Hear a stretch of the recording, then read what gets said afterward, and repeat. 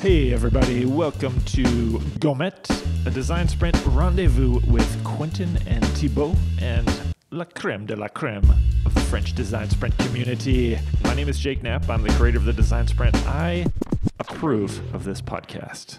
Please enjoy. Hey hey hey, salut à toutes, salut à tous et bienvenue pour ce nouvel épisode de Gomet. Je suis Quentin, toujours en très bonne compagnie de mon bro Thibaut. Hello tout le monde. Et on est très heureux de vous retrouver dans ce podcast dédié au design sprint. À chaque épisode, nous avons le plaisir d'échanger avec un invité qui nous raconte son histoire, nous partage ses retours d'expérience et nous parle de sa pratique du design sprint.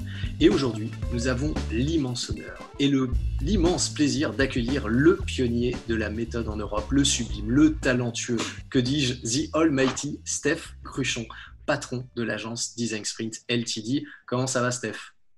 Bah super, merci Quentin, merci Thibaut, merci de m'avoir les gars, c'est cool. C'est un plaisir. Merci à toi d'avoir accepté. Alors évidemment, il y aurait des milliards de sujets dont nous voudrions parler avec toi, Steph, mais aujourd'hui, nous sommes là parce que l'actualité est au remote.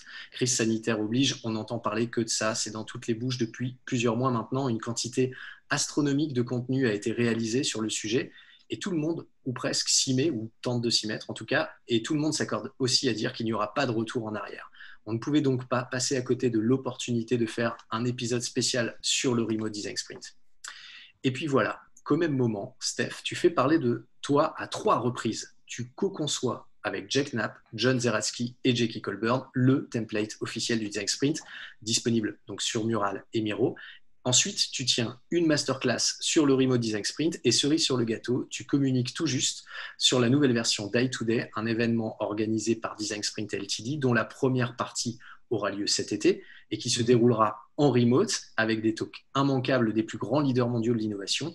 Puis il y aura deux masterclass, une de Alex Osterwalder, qui est ni plus ni moins, pour ceux qui ne le connaissent pas encore, le cofondateur de la célèbre agence Strategizer, auteur du business model Canva, et très récemment du livre The Invincible Company. Et il y aura également une autre masterclass du dieu himself, Jack Knapp, le fondateur donc, du Design Sprint qu'on ne présente plus. Bon, il y a évidemment plein d'autres surprises dont on a hâte que tu nous parles. Euh, ça s'annonce énorme, mais avant ça, Steph Ruchon, qui es-tu? Waouh. Alors, euh, je suis un designer euh, suisse, euh, ce qui s'explique, enfin vous pouvez l'entendre avec mon accent, je pense que ça ça passe pas très bien au niveau podcast. Je viens de, Lausanne en Suisse, qui est une ville tout proche de, Genève, au bord du lac Léman. lac de Genève. Et, du coup, voilà, je suis, designer au sens large, c'est-à-dire que j'ai fait pas mal de... euh, j'ai une quinzaine d'années maintenant d'expérience de design de produits, de, produits digitaux, etc. Au départ, j'ai commencé plutôt sur les aspects euh, code, front-end, après design graphique, beaucoup, beaucoup de web design, euh, aussi un peu d'enseignement, de l'UX. Et puis, ces cinq dernières années, j'étais à fond sur le design sprint et j'ai fait quasiment que ça. Donc voilà. Et donc là, j'ai créé l'agence Design Sprint LTD depuis maintenant 5 ans. Et, et voilà, et on s'éclate quoi. Et qu'est-ce que, du coup, Design Sprint LTD, tu peux nous raconter un peu son histoire Combien vous Mhm. êtes Qu'est-ce que vous faites? Yes. Euh, donc en fait, Design Sprint LTD, c'est un peu l'évolution de mon, je dirais un peu de mon side project freelance. Euh, en 2015, je travaillais pour une sorte de grande SS2I euh, assez, assez connue en, Suisse, euh, où j'étais lead UX designer. Je me plaisais pas vraiment dans ce- cet environnement un peu très très euh, structuré avec des départements, avec voilà un, un côté très très rigide où il y avait plus de mecs qui contrôlaient des timesheets et des tableurs Excel que de gens qui vraiment mettaient les mains dans le cambouis, qui designaient, qui codaient. Euh, et du coup, je me suis dit, il faut que je m'éjecte, il faut que je trouve euh, ma voie et ce que j'ai envie de faire? Et du coup, vraiment par chance, en 2015, je, je tombe sur ce concept de, de, design sprint très très tôt en fait.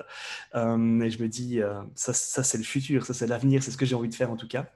Et je me lance un peu all-in là-dedans, euh, donc à la fin 2015. Euh, et voilà, et après, ça, ça a grandi, je dirais, de manière très organique. On n'a jamais voulu devenir très grand, euh, très important, avoir beaucoup d'employés, trouver des investisseurs euh, externes. Euh, donc, on reste une petite équipe, en fait, euh, je dirais très, très senior. Euh, et l'idée, vraiment, c'est qu'on essaye de de faire des, des choses, euh, des, de faire des choses bien. Et puis, de temps en temps, on, on, a des personnes autour de nous qui nous aident sur certains projets. Mais on est une petite équipe, on est trois euh, à plein temps. Design Sprint LTD.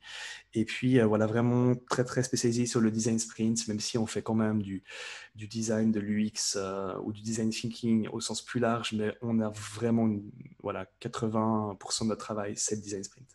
En tout cas, vous êtes hyper connu pour ça, quoi, du coup. Et alors, tu, Vas-y, dis-moi. On s'appelle, Design Sprint aussi. Là, on, s'est dit, on va être, on va être cohérent. Ah ouais, voilà, c'est pour ça, ça s'explique. et du coup, tu nous parlais tout à l'heure, moi ça, ça m'intéresse vachement parce qu'on est, on est hyper friand de petites histoires euh, ici chez Gomet. Tu nous mm. parlais de ton, de ton premier Design Sprint. Raconte-nous ta rencontre avec le Design Sprint. Comment ça s'est passé? Alors, euh, ma rencontre avec le Design Sprint, euh, au tout départ, c'était j'étais dans cette SS2I, je me plaisais pas. Je travaillais avec des développeurs qui faisaient de l'agile, euh, qui faisaient des sprints d'agilité. Je me dis, ah, ça c'est un truc intéressant, leur manière de, packager le, travail, leur manière de le, de proposer aux clients, c'était aussi cette proximité, euh, c'est-à-dire que tu, tu développes quelque chose, toutes les deux semaines, tu te rencontres avec ton client, tu discutes des prochaines étapes, je me dis, il y a un truc à faire. Puis moi, j'étais designer. J'étais, pourquoi il n'existe pas un truc similaire dans le design? Puis voilà, j'étais designer sprint, je me dis bah, je vais faire des sprint design ou des design sprint, je tombe sur ce nom par hasard, je le réserve le nom de domaine et je commence à travailler sur ma propre recette quoi, de design sprint.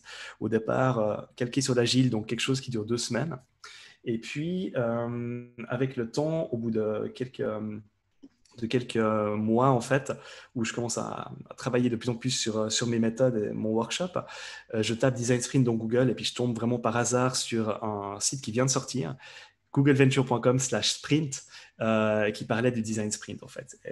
les articles étaient signés par un mec qui s'appelait Jake Knapp, euh, un designer euh, à l'interne chez Google Venture qui était inconnu à, ce moment-là. Et, voilà, et c'était un peu ma rencontre avec le design sprint. et puis ensuite, bah, très vite, c'était génial pour moi d'avoir ces premiers articles, d'avoir le lien, j'en parlerai après peut-être, mais avec Jake, ce lien direct aussi avec lui.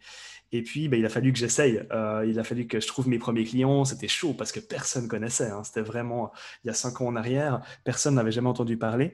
Puis moi, je venais avec mon concept d'américain, un peu de la Silicon Valley euh, euh, à Lausanne, quoi. Et, du coup, il y a un petit vendeur de, il y a un petit côté vendeur de tapis. Tu sais, quand tu arrives au tout début, le marché connaît pas le truc. Dis quoi, en cinq jours, tu vas faire un truc qu'on m'a vendu jusqu'à présent, qui durait des mois et qui coûtait une fortune. Exactement. C'est difficile Quoi, de casser cette image. Ouais, c'est ça. Alors, euh, je savais pas très bien le vendre à l'époque. Hein. J'étais pas aussi punchy que, toi maintenant. Euh, mais, globalement, en tout cas, moi, j'y croyais. C'était sincère parce que ça faisait déjà 15 ans que je faisais du design produit, de l'UX. Quand j'ai vu le truc, j'étais mais c'est tellement le futur, c'est tellement ce que j'ai envie de faire et c'est tellement la bonne relation. Je pense qu'il y a un moment donné où tout ce qui est facile à créer comme produit, comme app, etc. Maintenant, ça a été fait. Euh, puis maintenant, on arrive dans le dur, quoi, dans des, systèmes médicaux, des choses vraiment complexes, euh, émotionnelles, compliquées, et on a besoin en fait de ce, lien direct euh, avec le, client et les équipes. Enfin bref, mon premier design sprint, c'était un, un ami qui avait un magasin de sport. Et du coup, du coup il voulait refaire son site, etc. Je lui dis, hey, plutôt que de m'engager pour refaire ton site, est-ce que tu es d'accord de m'engager On fait un design sprint ensemble, euh, puis on regarde si ça marche, et puis on teste. Puis il était OK, ouais, cool, je vais rassembler mon père, un pote, comme ça. Et je fais c'est bon, tu t'occupes, tu, organises, tu trouves le lieu. Il fait ouais, pas de problème, j'ai trouvé un lieu super. Et c'était une cave. c'était une cave, et on a fait ce sprint, mais c'était vraiment génial. Vraiment, voilà, la révélation, c'est tout s'éclater. Euh, et d'ailleurs, on a filmé ce sprint. Euh, on a mis une GoPro euh, en dessus de la table, etc. Et en fait, c'est encore des images qui sont, euh, je crois même sur la vidéo sur mon site, sur designsprint.com, vous trouvez des images de ce tout premier sprint. Ah, génial. donc c'est ça en fait qui, m'a lancé. C'était hyper important d'avoir un premier sprint à montrer aux futurs clients, même si c'était un, petit sprint, mais c'est ce qui a lancé la, ce qui a lancé la boule. Ok. Et ça veut dire quoi? Moi, je voulais te demander, euh, concrètement, là, aujourd'hui, sur le site, tu annonces, voilà, on est reconnu par Google, donc ça, c'est top, comme Design Sprint Chapter. Ça veut dire quoi être reconnu euh, comme Design Sprint Chapter? C'est la classe. oui, on est d'accord. non, en fait, c'est la classe vraiment pour les nerds. Mais euh, non, en fait, Google, donc le sprint est né chez Google, en fait, chez Google Venture. Après, il s'est développé chez, chez Google à l'interne. De plus en plus de Googlers ont fait des sprints. C'est quelque chose qu'ils ont intégré vraiment dans leur euh, méthodologie. Et puis, en 2017, ils ont organisé la première Design Sprint conférence chez Google, où l'idée, c'était de réunir des gens de chez Google, mais aussi des gens du monde entier qui faisaient ça. mais en petit comité, c'était 100 personnes. La première Design Sprint conférence, dont 60 Googlers. Quoi. Et, en fait, ils en ont fait en 2017, 2018, 2019. Je pense qu'en 2020, il n'y en pas parce qu'il y a un petit problème. mais en fait, en 2019, il y avait déjà cette idée que cette conférence devenait trop. Il y a trop de gens intéressés par le sprint, il n'y avait pas assez de gens qui pouvaient venir. Et ils se sont dit, on va essayer de, de créer des sortes de trusted chapters. Euh, on va confier un peu des communautés à des personnes en qui on a confiance, euh, qui font du bon travail, qui poussent le sprint dans la bonne direction. Puis ils ont fait lister les 13 villes euh, les plus importantes, je dirais, pour le sprint mondialement. Donc des villes comme Paris, New York, San Francisco, Madrid, et Lausanne, qui est une bourriade de 100 000 habitants.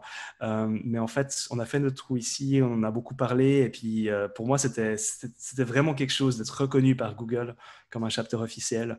Parce que ça veut juste dire qu'on a fait du bon travail euh, d'évangélisation, je dirais, ces dernières années. Et qu'on a su créer une communauté et de l'énergie autour du sprint. du coup, il, vous donne, il, te donne des moyens, il t'aide sur... Non, même pas, il paye, paye même pas l'apéro, ce qui est un scandale.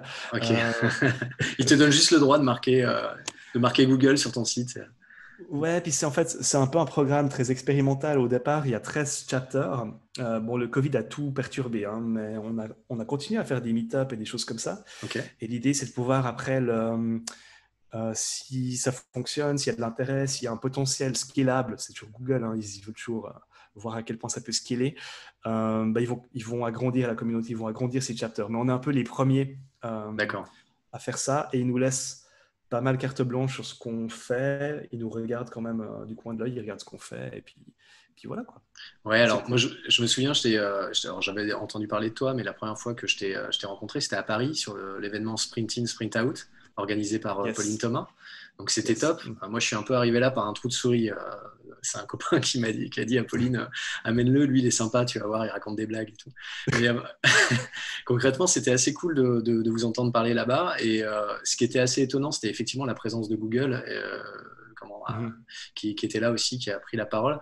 Et ce, dont on avait la, sensation, c'était effectivement le fait que Google voyait bien que le sujet, c'était il y a énormément de gens qui s'emparaient du sujet un petit peu partout à travers le monde et que du mm. coup il y avait euh, bah, ça scalait quoi d'une certaine façon. C'est à dire que non seulement il y avait Google qui travaillait sur le format mais il y avait plein d'autres personnes avec d'autres approches d'autres cultures d'autres façons de faire qui le faisaient aussi. Et du coup que c'était une super opportunité pour eux de capitaliser sur cette connaissance qui était en train de se développer quoi. Donc euh, c'est pour ça que je te posais la question. Je voulais comprendre euh, quel était l'intérêt pour Google de développer ces chapters. Ouais. C'est une très bonne question en fait euh, que j'ai posée d'ailleurs à, Kai, donc euh, qui est la, la, lead en fait de ce, mm. chapter à Google. Euh, en fait, Google ne pense pas se faire de l'argent ou breveter le sprint ou, que sais-je. Ils ont, je pense même pas qu'ils ont une, une envie de, de, définir la direction que doit prendre le sprint. Par contre, je pense que Google veut en fait qu'il y ait comment dire, de l'éducation sur l'UX, de l'éducation sur la création de produits, euh, et que des designers qui travaillent sur des produits qui ont du sens. Et puis, le business model de Google, c'est de vendre des, c'est, des apps, en fait. Enfin, c'est Android, c'est l'Android Market. Donc, en fait, l'idée derrière, c'est plus il y a de gens qui sont, euh, qui sont intéressés par le sprint, qui vont l'intégrer dans la méthodologie de travail et qui vont créer des meilleurs produits, plus il y aura des applications de qualité sur le marché du potentiel pour Google. Google aussi a un problème de trouver des, bons designers, hein, des, trouver des, gens qui peuvent créer des produits. Ils en ont bien sûr des, milliers à l'interne chez Google, mais c'est une compagnie qui grandit. je pense aussi que c'est un petit moyen pour eux de, repérer des personnes intéressantes euh, de, par ces communautés. Mhm ce qu'il faut aussi comprendre, c'est que le sprint, c'est quelque chose d'émergent, hein, quelque chose de. Moi, ça fait cinq ans que j'en fais, mais ça fait peut-être euh, un, deux ans que, que c'est arrivé à une masse critique, et, enfin, où les gens commencent vraiment à en entendre parler comme méthode d'innovation. Et c'est quelque chose qui est, qui est, en bonne voie pour grandir encore. Euh, et puis voilà, et je pense que Google veut aussi avoir leur nom associé à ça. Et alors, il paraît que tu faisais des design sprints avant Jake. Vrai ou faux? Faux. Non, faux. Alors, bah oui, en fait, comment dire, je suis tombé sur ce concept, sur le nom, sur l'idée de faire du design sprint indépendamment, c'est-à-dire avant Jake. C'est comme ça, en fait, que j'ai découvert très tôt par chance le design sprint parce que je suis tombé sur cette idée et puis sur ce nom en fait. Euh, après, Jake, pour de vrai, il a commencé à faire ses premiers sprints en 2011 avec Google Venture. Les, premières, euh, les premiers workshops, je crois que c'était avec Google euh, Hangouts en 2011. et puis, il l'a amélioré au fil des années. Et quand moi, je suis arrivé avec mon sprint tout pourri en 2015, bah, franchement, j'avais qu'à j'avais qu'à voilà, ramasser ce que Jake avait fait parce qu'il avait fait un tel travail de fond et d'amélioration du processus. En fait, lui, il était prêt à écrire un livre. Quoi. Moi, j'étais juste prêt à mener mon premier sprint. Vous voyez le truc Donc, euh, non, j'ai pas fait des sprints avant Jake. et, et, justement, est-ce que tu peux partager avec nous les différences qu'il y avait? Enfin, C'était quoi le gap que tu as vu entre la démarche que toi, tu avais eue, la solution à laquelle mmh. tu étais arrivé versus celle que, celle que tu as découverte dans le livre, en fait? C'était une semaine de différence.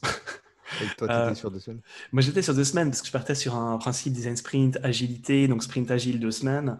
Et ça me semblait à ce moment-là aussi un, quelque chose d'un peu réaliste de faire un workshop la semaine 1 et puis faire un prototype la semaine 2. Quoi.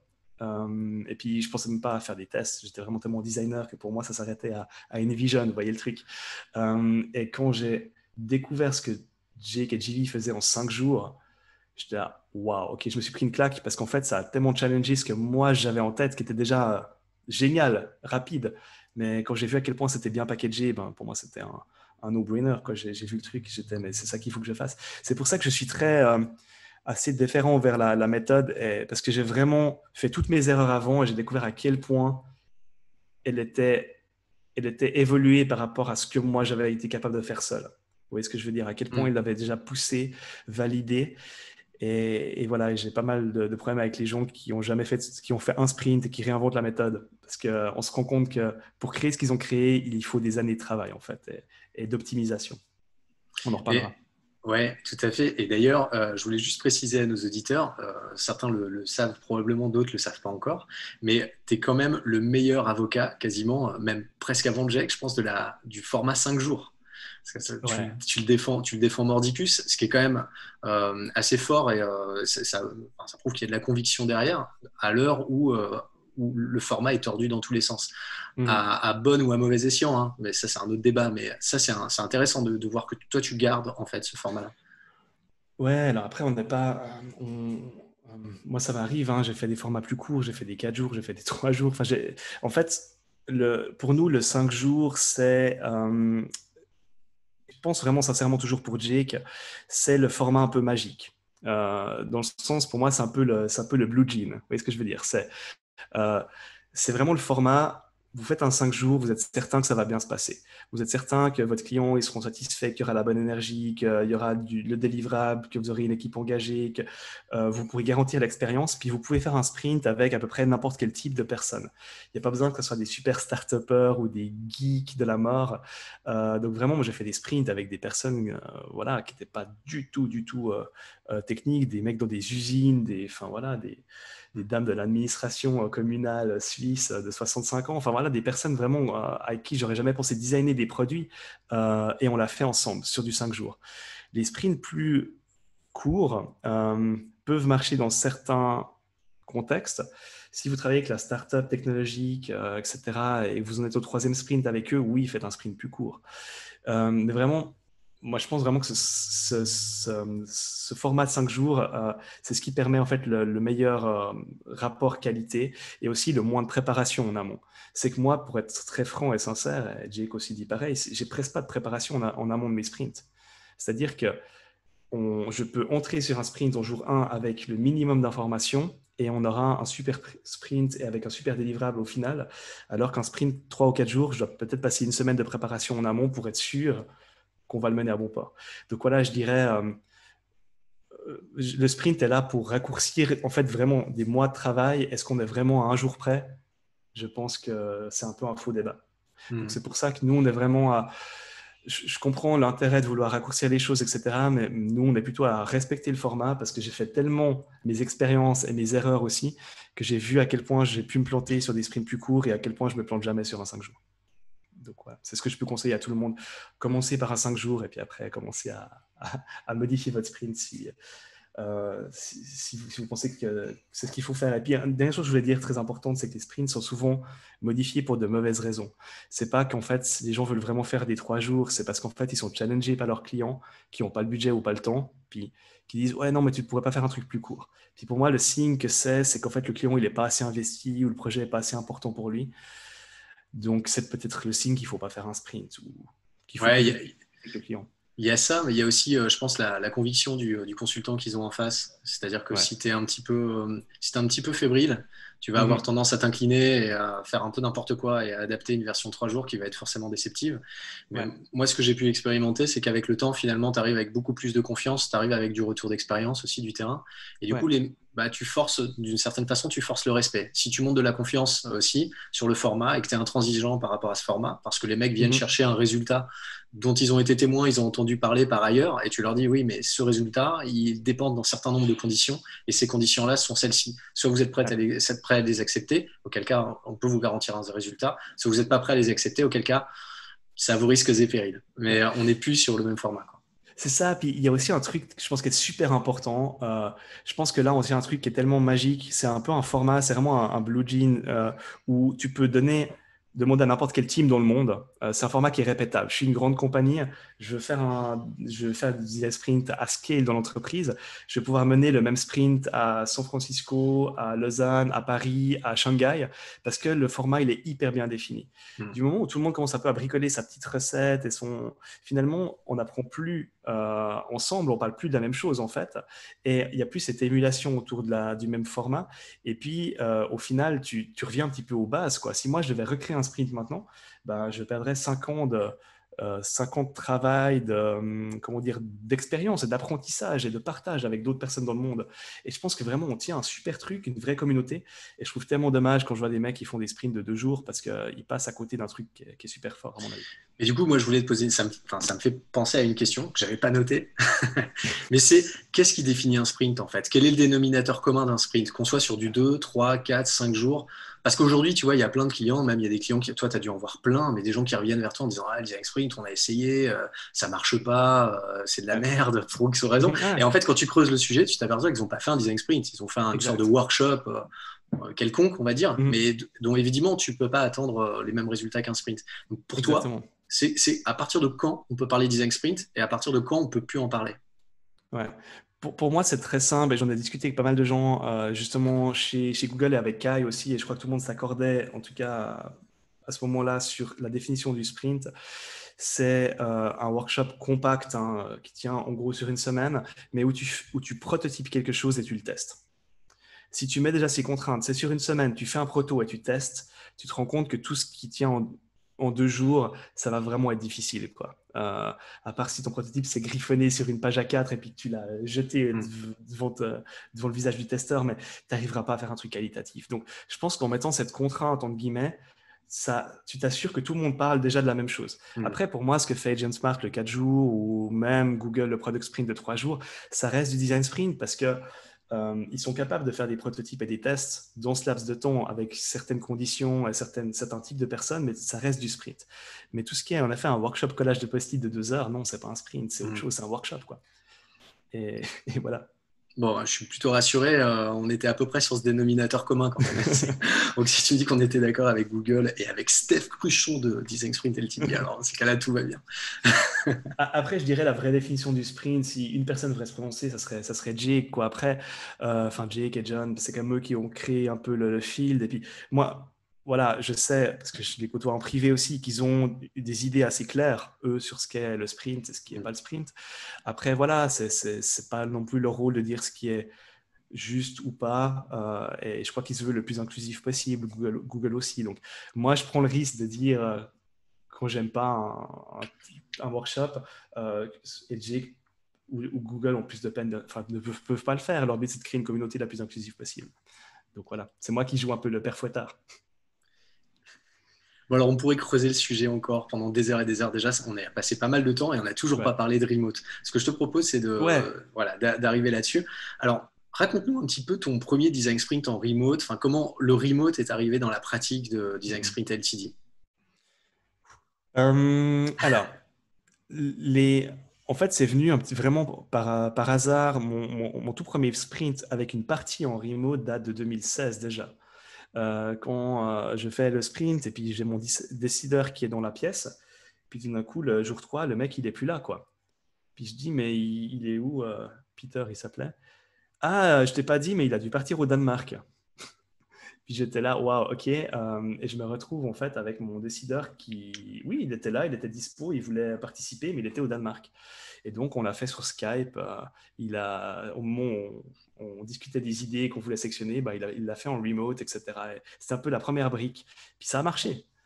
Euh, et puis après, on a, avec le temps, on a pas mal expérimenté. Des choses qu'on faisait souvent beaucoup en remote, c'était le prototypage qu'on pouvait faire à distance, les tests aussi qu'on menait des fois à distance. Donc tout ça, c'est des briques qu'on avait déjà naturellement en remote. Ce qu'on faisait pas ou très peu en remote, c'était les trois premiers jours du sprint, où là, on, je pense comme vous, on était, euh, et on est toujours, je pense, euh, assez... on voit le momentum et l'énergie que tu peux créer dans un sprint, c'est-à-dire quand tu rassembles les personnes dans une pièce. Puis moi, j'y croyais moyennement, me dire, ouais, si on fait ça sur... Euh, c'était pas Zoom à l'époque, c'était Skype.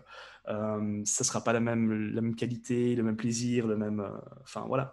J'ai même perdu des sprints à cause de ça. Hein. Des sprints pour des ONG où ils voulaient du remote. Puis moi, je leur disais il y a deux ans, écoutez, c'est pas possible, ça va pas marcher. Moi, je le sens pas. Et puis, on a perdu le, geek à cause de ça. Puis il y a Robert Scrobe qui est arrivé dans l'équation avec euh, son Remote Design Sprint sur GVDS. Et moi, je trouvais vraiment très intéressant ce qu'il faisait parce qu'il amenait des nouveaux outils qu'on n'avait pas repérés, Mural, Miro, euh, Mural beaucoup. Et là, je me suis dit, là, il y a un truc intéressant avec ces outils quand même. Et moi, je m'y suis beaucoup intéressé. On a fait des tests euh, à l'interne.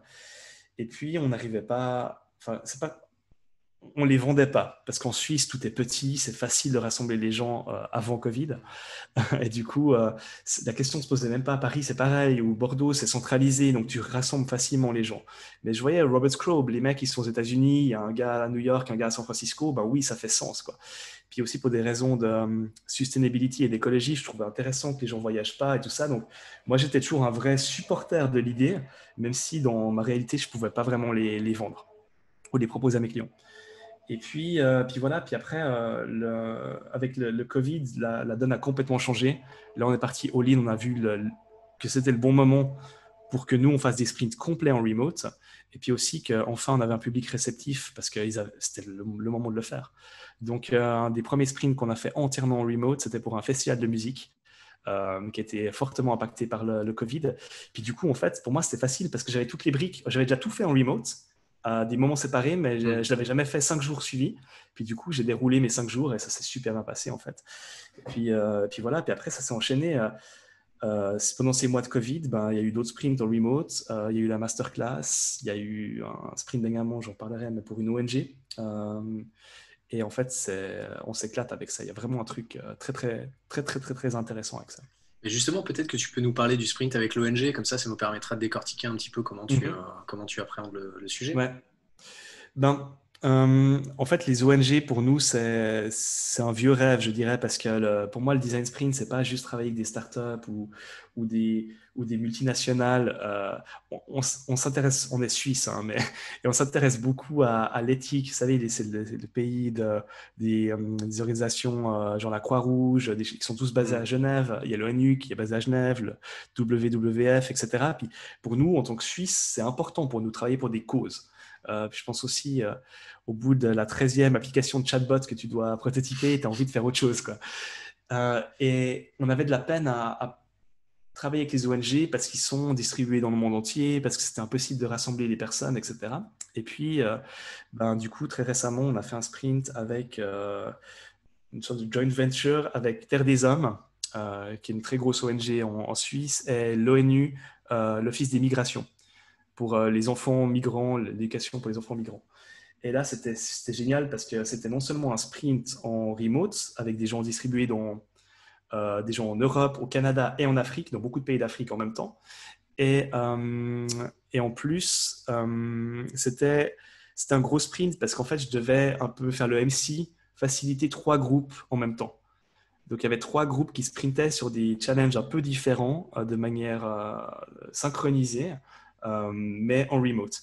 Et ce qui était hallucinant, c'est que c'était des personnes qui travaillaient ensemble depuis des années, mais qui s'étaient jamais parlé, qui s'étaient jamais rencontrées, qui échangeaient par email. Et on a réuni tout ce monde-là. On était à la fin du sprint, il y avait 50 personnes. Euh, parce qu'il y avait trois équipes, plus des gens qui, regardaient le résultat. Enfin, ça, ça, a créé une émulation et une énergie que, que moi, j'ai jamais vu, je pense, dans un sprint, et que eux avaient, euh, je pense que je, peux le dire, mais, mais rarement connu euh, au sein des ONG, parce que tout le monde était rassemblé. Quoi. Euh, et ça, c'est vraiment un truc très fort. Comment tu as géré les, les, différents fuseaux horaires, du coup? Ouais. Ben, assez bien en fait, mais c'était un peu un coup de chance dans le sens où le plus extrême c'était qu'il y avait des Canadiens. Parce qu'en fait, l'Afrique, c'est ça la chance. C'est pour ça que c'est génial de travailler des ONG, c'est que l'Afrique sont sur les mêmes fuseaux horaires que l'Europe. Euh, et ça, ça c'est assez génial. Donc, il y avait quelqu'un au Liban, donc lui, il était un peu en avance, et puis les plus en retard, c'était le Canada.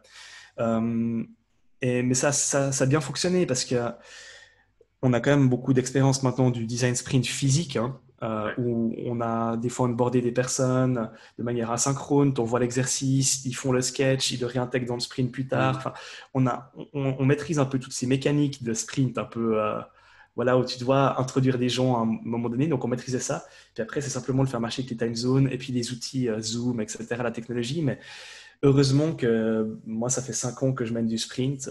J'en ai fait plus d'une centaine maintenant, dans tout type de. Et puis, je suis très content d'avoir cette expérience-là, ça m'aide beaucoup pour faire des sprints en remote. Autrement, c'est super casse-gueule. Ouais, tu dérisques déjà tout un tas de choses. Tu, euh, tu peux te concentrer vraiment sur la, virtualisation du sprint, mais le process, tu le maîtrises déjà bien. Donc, le fond du problème, hein, tu, euh, j'ai une bonne, bonne, expertise dessus. Donc, c'est sûr que tu peux être plus confiant. Quoi. D'où aussi, euh, aussi l'intérêt? Excuse, Timo, ouais. Non, je voulais te demander justement si tu pouvais revenir un petit peu sur ce qui te semblait casse-gueule sur, le, sur le remote, tout ce qui pouvait être un peu risqué quand on passe du, de l'un à l'autre. Tout. Non, le, euh, en fait, le, remote amène évidemment euh, son lot de problèmes techniques quoi, que tu n'as pas en fait dans un sprint physique. C'est pour ça que Jake il a créé le sprint. C'est la base, c'est hyper basique. C'est tout le monde autour d'une table, tu as du papier, du post-it. Euh, c'est tangible en fait, c'est simple. Moi, dans un sprint physique, le pire moment, c'est les lightning demos parce que je sais que le mec il va devoir brancher brancher le, projecteur et ça foire. C'est le truc technique du sprint et ça foire. Et, voilà, en fait, le remote, c'est que ça. C'est que de la technologie euh, avec des, euh, des logiciels de, des logiciels, euh, voilà, de visioconf, des micros, des webcams à gérer. Il y a Mural, Miro à gérer. Là, les mecs étaient en Afrique. Hein, donc, on a tout eu. On a eu des mecs qui ont eu, qui n'avaient plus Internet. OK Il y a des mecs qui n'avaient plus l'électricité. Et parce qu'ils étaient au Nigeria et au Burkina Faso, puis il y avait des orages, puis quand il y a un orage au Burkina Faso, il n'y a plus d'électricité. quoi.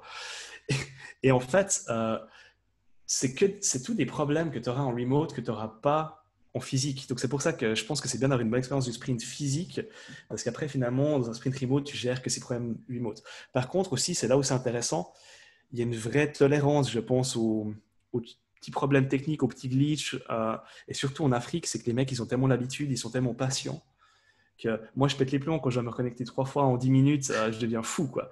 Euh, bah eux, c'est leur quotidien en fait, c'est tout le temps comme ça. Donc finalement, t'as perdu combien de kilos?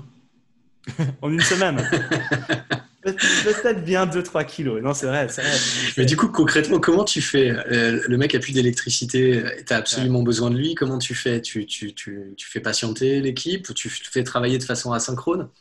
Ouais, c'est exactement ça. C'est travailler de façon asynchrone et puis tu en fait mes exercices euh, j'avais un peu un fallback c'est-à-dire que j'avais mes exercices de manière offline qui sont plus ou moins prêts euh, donc euh, en catastrophe je pouvais envoyer par WhatsApp parce qu'il avait quand même encore de la 4G mais il n'a plus d'électricité mais il a encore de la 4G et du coup je pouvais envoyer les instructions en fait de l'exercice typiquement sur le sketching puis en fait voilà, il m'envoyait ce qu'il avait, puis je le réintégrais au bon moment, etc.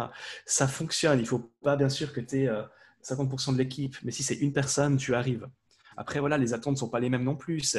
Euh, les quelques personnes qui ont des problèmes techniques, on n'attendait pas d'eux qu'ils amènent 100% de l'énergie du sprint, mais ils étaient là au moment important. Et on leur donnait une place quand ça marchait. On faisait en sorte qu'ils puissent parler, s'exprimer, parce qu'on c'était une chance de les avoir, c'est ça. Et pour les gens des ONG, ben, euh, c'était, euh, ils travaillaient presque jamais avec eux en fait en direct. C'était génial déjà d'avoir ces, d'avoir ces moments où ils pouvaient travailler de manière synchronisée, parce que d'habitude ça se fait pas. C'est top, incroyable histoire.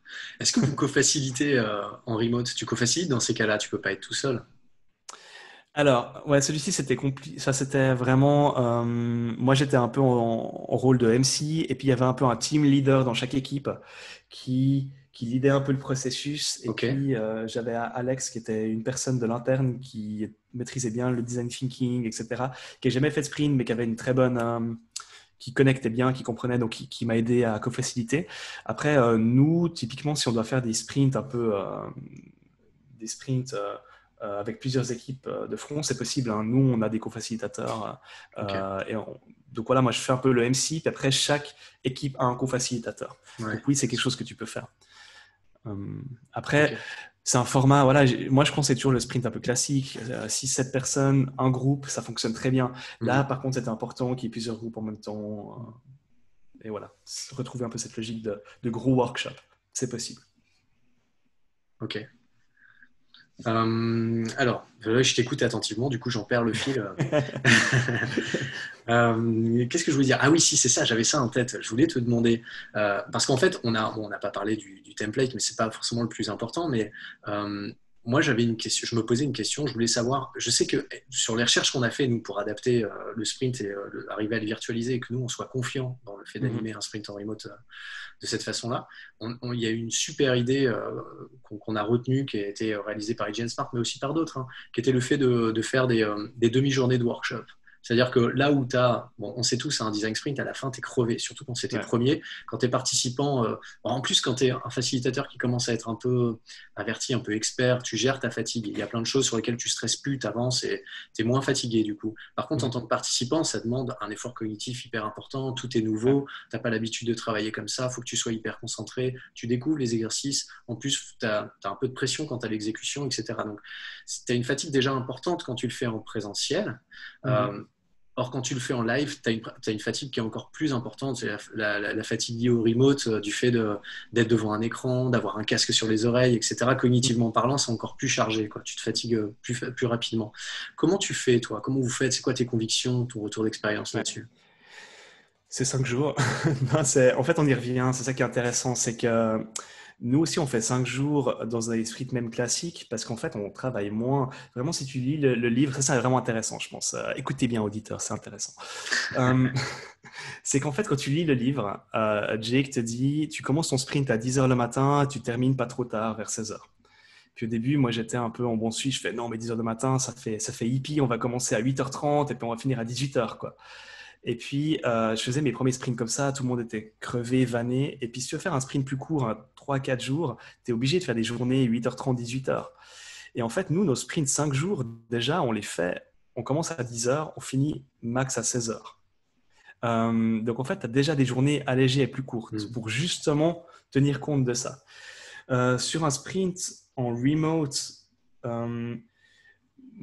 dans notre expérience, ça marche bien de faire 5 jours avec des journées en effet un peu plus allégées. C'est-à-dire, moi, je fais quand même du 10h, 16h, mais avec des grosses pauses.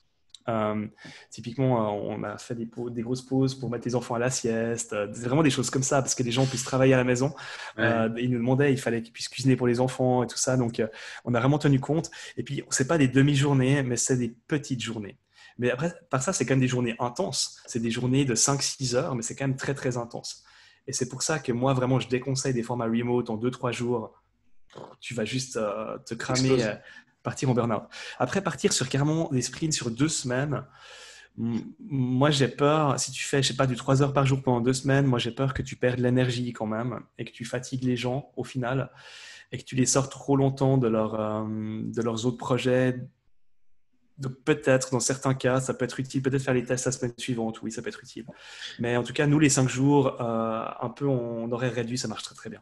Ok. Nous, on est parti. Alors, pour, pour, euh, faudrait que je te le partage d'ailleurs. Mais nous, on est parti Mhm. sur des, euh, sur, on reste sur du 5 jours, pareil. Mhm. Par contre, les trois premiers jours, on a, on a condensé ça sur des gros workshops de 4 heures le matin. En Ok. gros. Et en fait, on anticipe davantage, on fait un peu plus de prépa. Là où effectivement, toi, tu me dis, bon, tu, fais- tu es vraiment by the book, c'est-à-dire tu arrives le premier jour du sprint, tu n'as quasiment pas de prépa et c'est le, le Mhm. process est autosuffisant.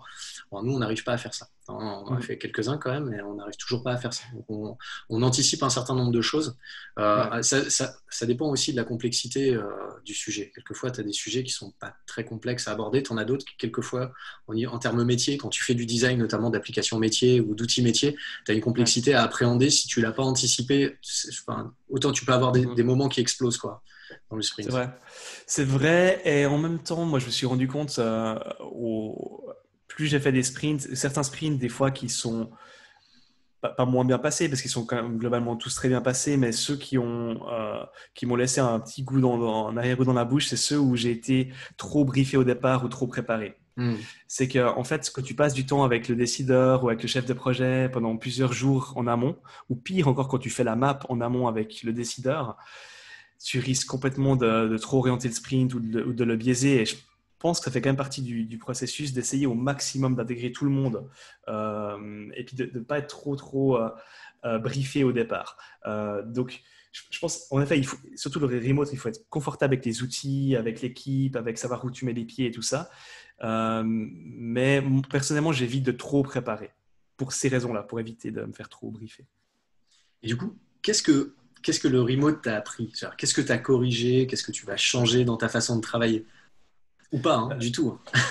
déjà, ça, déjà, ça m'a appris que c'était possible de le faire. Euh, pendant très longtemps, euh, je, trouvais que c'était une belle idée, mais en même temps que c'était soit les gens voudraient pas le faire, soit il y aurait pas de clients pour ça, soit ça serait, euh, enfin, soit, soit ça délivrerait pas. Et moi, j'ai vraiment découvert à quel point ça délivre. surtout pour des équipes distribuées, des gens qui feraient pas design sprint normalement, du coup, ils peuvent le faire grâce au remote. Je ne sais pas dans le post-Covid, dans les mois qui vont venir, si euh, je vais faire 100% de mon activité en remote. Moi, dès que je peux retourner dans une salle avec du papier, j'y retourne. Euh, mais typiquement pour des ONG, je vois le potentiel. Je trouve que c'est absolument génial. Et puis après, ça donne quand même aussi une voix à des gens, bah, typiquement ces, ces, personnes euh, qui sont loin du headquarter, qui sont en Afrique, qui n'auraient pas pu venir participer au sprint en vrai. Bah, là, du coup, ils étaient là avec nous et pour cet aspect-là, d'avoir les bonnes personnes dans la salle, d'avoir les bons experts, les bons testeurs, ça y a un truc absolument génial. Donc, j'irais pour les tests, euh, crucial. Enfin, le, remote est absolument génial. Hum. il y a un petit problème de manque de démocratisation du sprint avec le remote. Ça, ça amène une, sorte de barrière à l'entrée. Tu es obligé de savoir utiliser une webcam, Zoom, euh, Miro, Mural, ce qui fait que tu peux plus faire du sprint avec n'importe qui en remote, ce qui était le cas avant. Et je pense que c'est quelque chose qu'on risque de perdre en chemin. Donc, euh, je pense ah, pour que le sprint reste inclusif, euh, les aspects physiques restent, faut rester importants, je pense. Alors nous, on prévoit de, généralement de, faire un petit onboarding technique avant le sprint. J'imagine que tu fais la même chose. Ouais, nécessairement. Absolument, ouais. Surtout avec l'Afrique. Là, c'était vraiment, vraiment important parce qu'on a pu tout de suite voir à quel point il y a des problèmes de connexion. Mm. Ça m'a conduit à changer pas mal de choses, à alléger un peu le template, enlever des images, des choses mm. juste pour des raisons de bande passante. J'ai fait pas mal d'adaptations liées vraiment à la technologie euh, parce que je savais que ça serait plus compliqué tu as fait de l'éco-conception du template design sprint sur euh, Mural. Mais je te jure, j'ai fait ça. J'étais sur Photoshop, j'étais en train d'optimiser euh, chaque JPEG pour euh, enlever des, des chaos. Vraiment, c'est geek, mais c'est important en fait pour l'expérience des, des, des, mecs qui font le sprint parce que s'ils n'arrivent pas à, à, charger ton template en moins de deux minutes, ben, ils peuvent juste pas travailler en fait. Donc, euh, et je pense que c'est vraiment important qu'on pense à ça, à ces aspects-là, euh, quand on facilite en, remote. Il faut penser à, l'expérience euh, en tant que telle. Et la musique était hyper, hyper importante aussi en remote. Donc j'ai vraiment un peu fait des, playlists, etc. Ça a beaucoup amené, je pense aussi. Génial. Thibaut, j'ai l'impression que tu as une question qui te brûle les lèvres. Oui, c'est vrai. Je, me disais, est-ce que je dois la poser? Est-ce qu'on va être hors sujet? Alors, Timekeeper, est-ce qu'on a un petit peu de temps? On peut sortir légèrement de la, de la trame? Bien, bien sûr, Thibaut, fais plaisir. Hein. Non, je, me demandais, euh, comme tu, voilà, avec le lien que tu as avec euh, Google et Design Sprint Chapter, finalement, quelle est ta vision à toi sur l'évolution que va peut-être connaître la communauté du Design Sprint post-Covid, alors en lien avec le Covid ou même sans le sans l'impact du Covid, comment est-ce que tu vois les choses évoluer euh, en termes de, design sprint et, de sa pratique? Hmm. J'ai un plan positif et un plan négatif. enfin, le plan optimiste et le plan pessimiste. Euh, je commence par le plan pessimiste. Euh, c'est que tout le monde, en fait, les gens s'emparent du mot-clé design sprint parce que c'est trendy, parce que les gens s'y intéressent, puis commencent à faire n'importe quoi. Euh, c'est-à-dire des workshops d'une heure où on colle des post-it, on appelle ça un design sprint. Et puis là, le risque, c'est qu'on ne sait plus de quoi on parle Et puis, bah, les gens, comme tu disais avant, quand ils fassent des mauvaises expériences, ils font un, un, workshop de deux heures qui donne rien, puis ils disent mais le sprint ça marche pas, puis au final on aura un peu tout perdu parce qu'on va revenir à la situation de 2015 côté des workshops du X, puis en fait on aura une infinité de petits workshops de tout type de qualité et on ne saura plus de quoi on parle. Et puis là, c'est l'effondrement de, de, la communauté. Ça, serait le scénario pessimiste et j'espère vraiment pas qu'on va arriver euh, euh, vers ça. Euh, le scénario optimiste, et je, pense qu'on a de vraies bonnes chances d'y arriver, aussi en partie grâce au remote et au, au canvas et des choses comme ça, et, aussi au lead de, Jake, c'est qu'on arrive à, à, créer de plus en plus une, une, communauté qui parle de la même chose, qui, qui, est excité autour des mêmes idées. Et puis le sprint entre de plus en plus. Actuellement, il est toujours dans une phase de, spécialiste. Quoi. Ça reste un peu nerd tout ça. Des, on parle à des convaincus, on parle à des product designers, des designers, des UX, des gens qui comprennent ça. Et puis maintenant, il faut que ça rentre de manière euh, normale dans les entreprises. Et puis si on arrive ça collectivement, hein, c'est pas juste nous ou Agent Smart ou vous, mais si nous tous on arrive à s'allier euh, à pousser ce format-là et ce type de workshop et que les entreprises l'intègrent comme voilà un standard dans le processus de conception, là on aura tout gagné. Je parle des entreprises, mais aussi des ONG, de, des, États, des administrations. Et là on a un truc parce qu'on a, on a tellement un blue jean, on a tellement une méthodologie euh, avec un impact incroyable et des, des choses à des preuves, je veux dire, on peut maintenant prouver les résultats, etc. Euh, donc on a tout pour bien faire. On a le bon produit, on a la bonne communauté, on a des gens intelligents, des gens qui sont vifs, des gens qui ont envie, une vraie éthique. Euh, et j'espère vraiment que c'est ce qui va se passer, qu'on va être capable d'intégrer ça comme un no-brainer dans les processus d'innovation des organisations. Et là, on aura tout gagné. Et du coup, tu espères que c'est comme ça que ça va se passer, mais tu penses scientifiquement que ça va se passer comment? Euh, Plutôt le premier, premier scénario ou le deuxième scénario, selon toi? Toi, une inquiétude. Hein. Le, premier scénario, euh, le premier scénario, c'est en fait, pour l'instant, il y, a des gens qui font qui prennent non design sprint puis qui font n'importe quoi, mais c'est finalement des gens qui, qui découvrent, c'est-à-dire qu'ils ont mené un workshop, ils l'appellent un design sprint, puis ils crient sur les réseaux sociaux, puis après ils se plantent, puis après on les revoit plus. Euh, donc voilà moi, j'ai plus peur, en fait, pas des individus ou des freelancers. C'est normal, en fait, que tout le monde veuille faire son, son format parce que c'est un peu du personal branding, c'est un peu vendre quelque chose, j'ai amené quelque chose de plus. Euh, et puis, il y a des choses très bien qui se font. Hein. Je, peux, je peux citer euh, Mikey Coppens avec son Voice Design Sprint ou des choses comme ça qui sont très niches, très ciblées. Et tout ça, c'est vraiment très, très bien. Ils ont repris l'idée du Design Sprint qu'ils ont adapté à une niche, à leur expertise. Euh, ce qui est pas très très bien, c'est des gens qui confondent tout, qui appellent un design sprint, du design thinking ou n'importe quel type de workshop. Mm. Puis, mais ça, c'est plutôt des gens qui apparaissent, qui disparaissent. Moi, où j'ai plus peur, c'est si des gros, euh, comment on appelle ça, des grosses consultancy, euh, genre du Big Four, commencent à prendre le mot-clé, vendre n'importe quoi, et puis reprendre un peu l'énergie de cette communauté à leur compte. là, ouais, pour, là, il y a un vrai problème parce qu'ils ont une force de frappe marketing qui n'a rien à voir avec euh, ce que nous, on est capable de faire, ce que vous, Agent Smart, est capable de mm. faire. Euh, donc voilà, c'est pour ça que pour moi, c'est là où nous, en tant que communauté, on doit, on doit tous pousser dans la, dans la bonne direction parce qu'il y, y, a des très belles choses avec ce design sprint et il ne faut pas qu'on le perde. Je pense qu'on a aligné. Euh, tu voulais dire un truc, Thibaut? Non, pas plus? Moi, ça m'intéresse. Vous, euh, vous, de votre point de vue, est-ce que vous sentez la même chose que moi ou pas? Comment vous, comment vous vivez, vous vivez ça? Euh, Moi, je me suis. Alors, je, je, je pense, Quentin, c'est pareil. Moi, je me suis toujours vu dans la catégorie un peu by the book plutôt appliquer la méthode 4 jours plutôt par contrainte de ce qu'on vend sur les, sur les projets et des disponibilités du client. Mhm. Euh, moi, j'ai plus des questions ponctuelles sur la méthode. J'ai toujours des, une question euh, qui revient à chaque fois, c'est les spring questions, à quel moment, à my à quel moment. J'ai toujours un petit truc de bon, voilà. Mais des trucs de geek euh, dans la méthode. Après, en effet, c'est en effet, je partage peut-être la crainte d'aller customiser le, le, design sprint, le vendre pour ce que pour ce que c'est pas. Après, je trouve je trouve que les gens sont assez rassurés. Enfin, finalement, ils sont assez rassurés quand tu leur dis que le process il a été euh, maturé par Google Venture, qu'il a été utilisé. Et finalement, c'était presque ce que tu vends. Donc, pour l'instant, je me suis pas. Je me suis demandé comment les gens, en effet, pouvaient euh, arriver à vendre un design sprint qui n'en est pas un. Mais c'est vrai que j'avais pas peut-être cette vision que tu as, toi, des, des grosses mhm. boîtes de consulting qui vont te marketer quelque chose de complètement différent et qui vont réussir à le, mhm. vendre. Donc, je suis. Ouais, c'est ça. Je, pense pour, euh, pour quelqu'un qui se lance dans, dans, En fait, pour quelqu'un qui se lance dans, dans ce métier de, de, sprint master, facilitation, etc., ben, le conseil, c'est part du livre. Après, tu, tu, mmh. crées ta propre sauce si tu veux, mais part du livre parce que tu as quelque chose de très bien qui va donner en plus de crédibilité. Tu dis, ça a été créé chez Google, il y a toute cette expérience, il, y a, tout savoir. Tu vas dans les communautés euh, sur Slack, sur bah, votre podcast et tout ça. Tu accès à ces personnes qui ont, sont très expérimentées. Euh, donc, ça va te donner en fait beaucoup plus de, de, corps dans ton argumentaire, de ce que tu proposes à tes clients, etc. Euh, après, bien sûr que bah, les grosses consultancies, des Big Four, ils jouent avec d'autres d'autres enjeux, d'autres cartes. Ils ont déjà des toolbox et des outils que eux veulent vendre.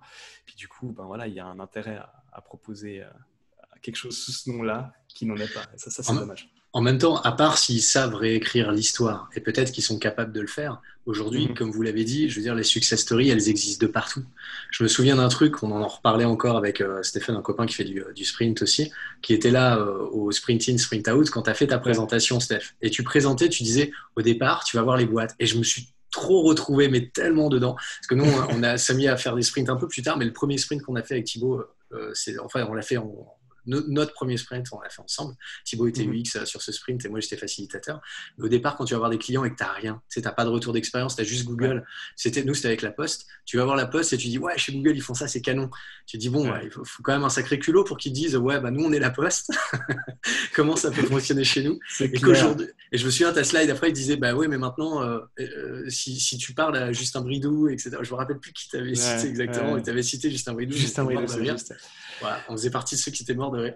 Et aujourd'hui, euh, tu es, capable effectivement de citer des retours d'expérience, comme tu disais, partout. C'est-à-dire des, startups, des ONG, euh, euh, des, grosses boîtes et qui ont des business models qui sont hyper différents, qui ont des cultures qui mhm. sont très différentes. Certaines qui sont très matures en agilité, d'autres qui ne le sont pas du tout. Et là où on mhm. pourrait se dire, bah, le sprint, ça va bien coller dans une boîte hyper agile, tu te rends compte que quelquefois, il y a une force d'accélération, d'innovation dans des boîtes qui ne le mhm. sont pas du tout parce qu'ils découvrent quelque chose et qui vit en stand-alone d'une certaine façon alors après, c'est comment tu scales dans, la boîte, c'est un autre sujet.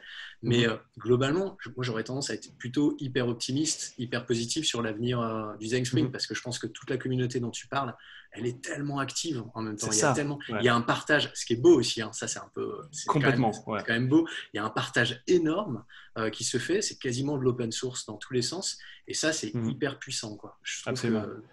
Et, c'est pour ça que je trouve vraiment génial. Et puis que euh, moi, ce que j'aime, c'est quand on parle tous de la même chose, parce que ça pousse tout le monde en avant. Euh, bah, comme tu disais avant Thibaut, les, les questions, je les mets où? Je me suis posé exactement la même question. On pourra en parler en off, mais c'est exactement de ça dont j'aime parler parce que on, part de la même chose. Quand je discute avec Jake et John, vraiment sur un truc hyper nerdy, on a, on a chipoté, un terme suisse, hein, chipoté, on a chipoté sur un, sur un mot dans le canvas, on en a parlé pendant 20 minutes. Euh, et c'est ça qui est ultra intéressant quand tu peux aller dans cette finesse d'échange parce qu'on parle du même truc. C'est ça qui est très, très cool. Euh, et voilà. Et tu parlais, euh, juste du coup, Thibaut, je te coupe la parole ou pas? Vas-y, vas-y. Ok. Non, parce que je voulais rebondir sur. Euh, tu parles de, Jake et John quand vous avez fait le, template. On n'en a pas trop parlé. Alors, il y a un peu moins de hauteur de vue que sur, sur le sujet qui va venir que sur celui qu'on était en train d'aborder. Mais quand même, on parlait de remote. Donc, pour faire du remote, il nous faut un bon canevas. Un bon canevas, ça sécurise tout le monde, ça sécurise l'animateur, ça sécurise les participants, qu'on quand même, c'est l'en commun, quoi. C'est le cerveau du, c'est le cerveau du sprint, et euh, c'est là où on va rendre tangible euh, tout le process intellectuel qui va, qui va se faire pendant le sprint. Donc, c'est hyper, mhm. hyper important. Comment ça s'est passé? Comment vous avez travaillé sur ce canevas J'ai l'impression que c'était toi, quand même, un petit peu derrière ce, ce travail. Dis-nous tout, sans fausse modestie. Non, oui, oui, bien sûr. Euh, en fait, bon, en fait, avec ce Covid, tout s'est euh, tout s'est accéléré en fait très très vite. Moi, j'avais déjà des parce qu'en fait, depuis très longtemps, les clients me demandaient dans les sprints physiques, ils disaient, eh, c'est génial ce sprint. Puis je disais, faut faut améliorer quoi? Puis ils disaient toujours, faudrait améliorer la visibilité sur ce qu'on va faire. Tu vois, ils me parlaient toujours un peu de cette timeline des activités je trouvais ça intéressant. Après, moi, j'étais fainéant, je voulais pas dérouler une timeline en papier comme ça, de, de 2 mètres de long. Puis, je trouvais pas, en fait, un moyen visuel de représenter les exercices qu'on allait faire et puis de tout expliquer en, amont. Donc, je l'ai quasiment jamais fait en physique. Euh, mais en fait, quand j'ai vu ce Covid arriver je devais faire, en fait, euh, mes sprints euh, entièrement remote, ben, il fallait se baser sur Mural, Miro, etc. Et très rapidement, je tape design sprint dans Mural, je regarde ce qu'il y avait, et puis il y avait des, choses qui préexistaient. Euh, mais moi, je me sentais vraiment pas à l'aise en tant que facilitateur pour mener des sprints parce que déjà, les formats avaient rien à voir avec ce que, hmm. ce que nous on fait. En fait, nous on fait, du, on fait du 5 jours, des fois du 4 jours, mais je trouvais des templates pour un workshop de 2 heures quoi, qui s'appelait Design Sprint. Je disais, wow, on est vraiment très très loin du truc. Il fallait rétablir la vérité. Ouais, fallait non seulement rétablir la vérité, mais il fallait que j'ai une base pour travailler, vraiment. Oui, oui. Je Puis donc, donc j'ai commencé à, monter mon propre canvas euh, avec j'ai illustré avec quelques images des sprints physiques. J'ai essayé d'écrire des instructions, euh, quelques instructions, pas beaucoup. Et puis vraiment avec cette vision que tu sois en fait guidé toute ta semaine sur une timeline. Euh, et puis tu es vraiment un peu guidé step by step. Puis ce qui s'est passé, c'est que euh, en gros, c'est à ce moment-là où Jake et John, euh, via Jackie, en fait, me, me, contactent. Parce que Jackie, elle était un peu envoyée en éclaireuse pour recenser tout ce qui se faisait. ils avaient une liste un peu de, de sprint masters qui voulaient, à qui voulaient discuter parce qu'ils étaient peut-être plus en avance que sur le remote. Et puis ils ont envoyé Jackie un peu en éclaireuse. Elle m'a dit Ok, Steph, montre-moi ce que tu fais, toi. Puis du coup, je me dis, ben, moi j'en suis là, voilà, voilà mon canvas, voilà avec quoi je travaille. J'ai déjà fait quelques, déjà deux sprints à ce moment-là euh, qui étaient finis, donc j'ai pu lui montrer. Et puis elle a trouvé ça hyper cool. Elle m'a dit, ben, tu me partages le lien, je vais montrer ça à Jake et John. Et puis ils sont revenus vers moi et puis ils m'ont dit, ben, yes, euh, on a regardé un peu tous les canvas, tous les canvas qu'on a vus et puis on trouve le tien, c'est le peut-être le plus abouti, puis aussi c'était peut-être le plus aussi en ligne avec le livre, tu vois. Hmm. Euh, et du coup, ils se sont dit, est-ce que tu serais d'accord de, partager ce canvas avec la communauté, puis on t'aide à le finir? Puis quand c'est Jake et John qui te demandent ça, bah, tu dis pas non. Quoi. Euh, tu dis pas non. Et puis, puis après, on a, voilà, on a passé euh, du moment un peu à faire les geeks, à, à améliorer ce canvas. Ils ont moi, j'ai fait là, vraiment la base, la structure, le graphisme mm. du, du, truc. J'étais vraiment nerd, j'ai compté les post-it, euh, mais c'est eux, surtout John d'ailleurs, qui a écrit tout ce qui est le, le, copywriting, en fait, des exercices. C'est quand même des mecs, Jake et John, qui sont très pointus, qui sont capables de résumer en deux lignes de texte un truc que moi je mettrais 20 minutes à expliquer. c'est là où je pense que c'est là où je pense que ce canvas il est, il est vraiment intéressant parce que le, le texte vient de Jake et John, c'est raccord avec le livre, tu lis le livre, tu rentres dans le canvas, tu peux faciliter un sprint. Mm, mm. Et je suis impressionné à quel point tu peux donner ce canvas à quelqu'un qui n'est pas sprint master et il est capable probablement de mener un sprint plus facilement en fait que dans un espace physique ou, voilà donc euh, je, suis content du résultat et euh, y a sur ce euh, comment sur ce canevas il y a une petite étape tout à, pareil on pourra en parler des heures mais il y a une petite étape à la fin qui s'appelle le wrap up Ouais. Et, ou le rapper, je sais pas comment. rapper. Ça dépend où aux États-Unis, hein, ne tu prononces pas de la même façon.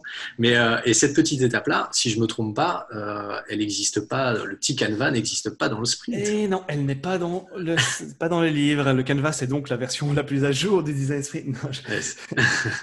c'est bien entendu. Mais alors ça c'est intéressant parce qu'en fait on faisait ce, ce canvas et puis c'est je crois que c'est Jackie qui a amené cet exercice et c'est John qui a insisté pour que pour qu'on l'ajoute. Et honnêtement, au départ, j'étais un peu OK, je lisais ce truc et en fait, je l'ai pratiqué dans mes sprints et c'est génial. Et je dois avouer un truc, c'est que le livre, en fait, explique pas bien comment terminer le sprint. Euh, surtout quand ça se passe mal, en fait. C'est quand, quand tu as un peu des résultats de merde, que ta grille d'analyse est toute rouge, euh, et, puis que, tout le monde est un peu déprimé. Euh, ben, en fait, j'avais de la peine à, terminer le sprint d'une manière un peu euh, constructive, joyful, intéressante. Et ben, en faisant cet exercice, c'est génial parce que tu te projettes vers le futur. Euh, puis sans non plus débriefer pendant 4 heures tout, le backlog du futur produit, mais tu peux déjà, chacun de manière de nouveau, work alone together, chacun de manière séparée va lister en fait les prochaines actions sans voir ce que font les autres, puis après tu as ça comme résultat du sprint. Et c'est vraiment, vraiment hyper cool. Et je pense que si ça je m'avance, hein, mais s'ils devaient republier euh, le sprint, le livre du sprint, c'est quelque chose qu'ils ajouteraient.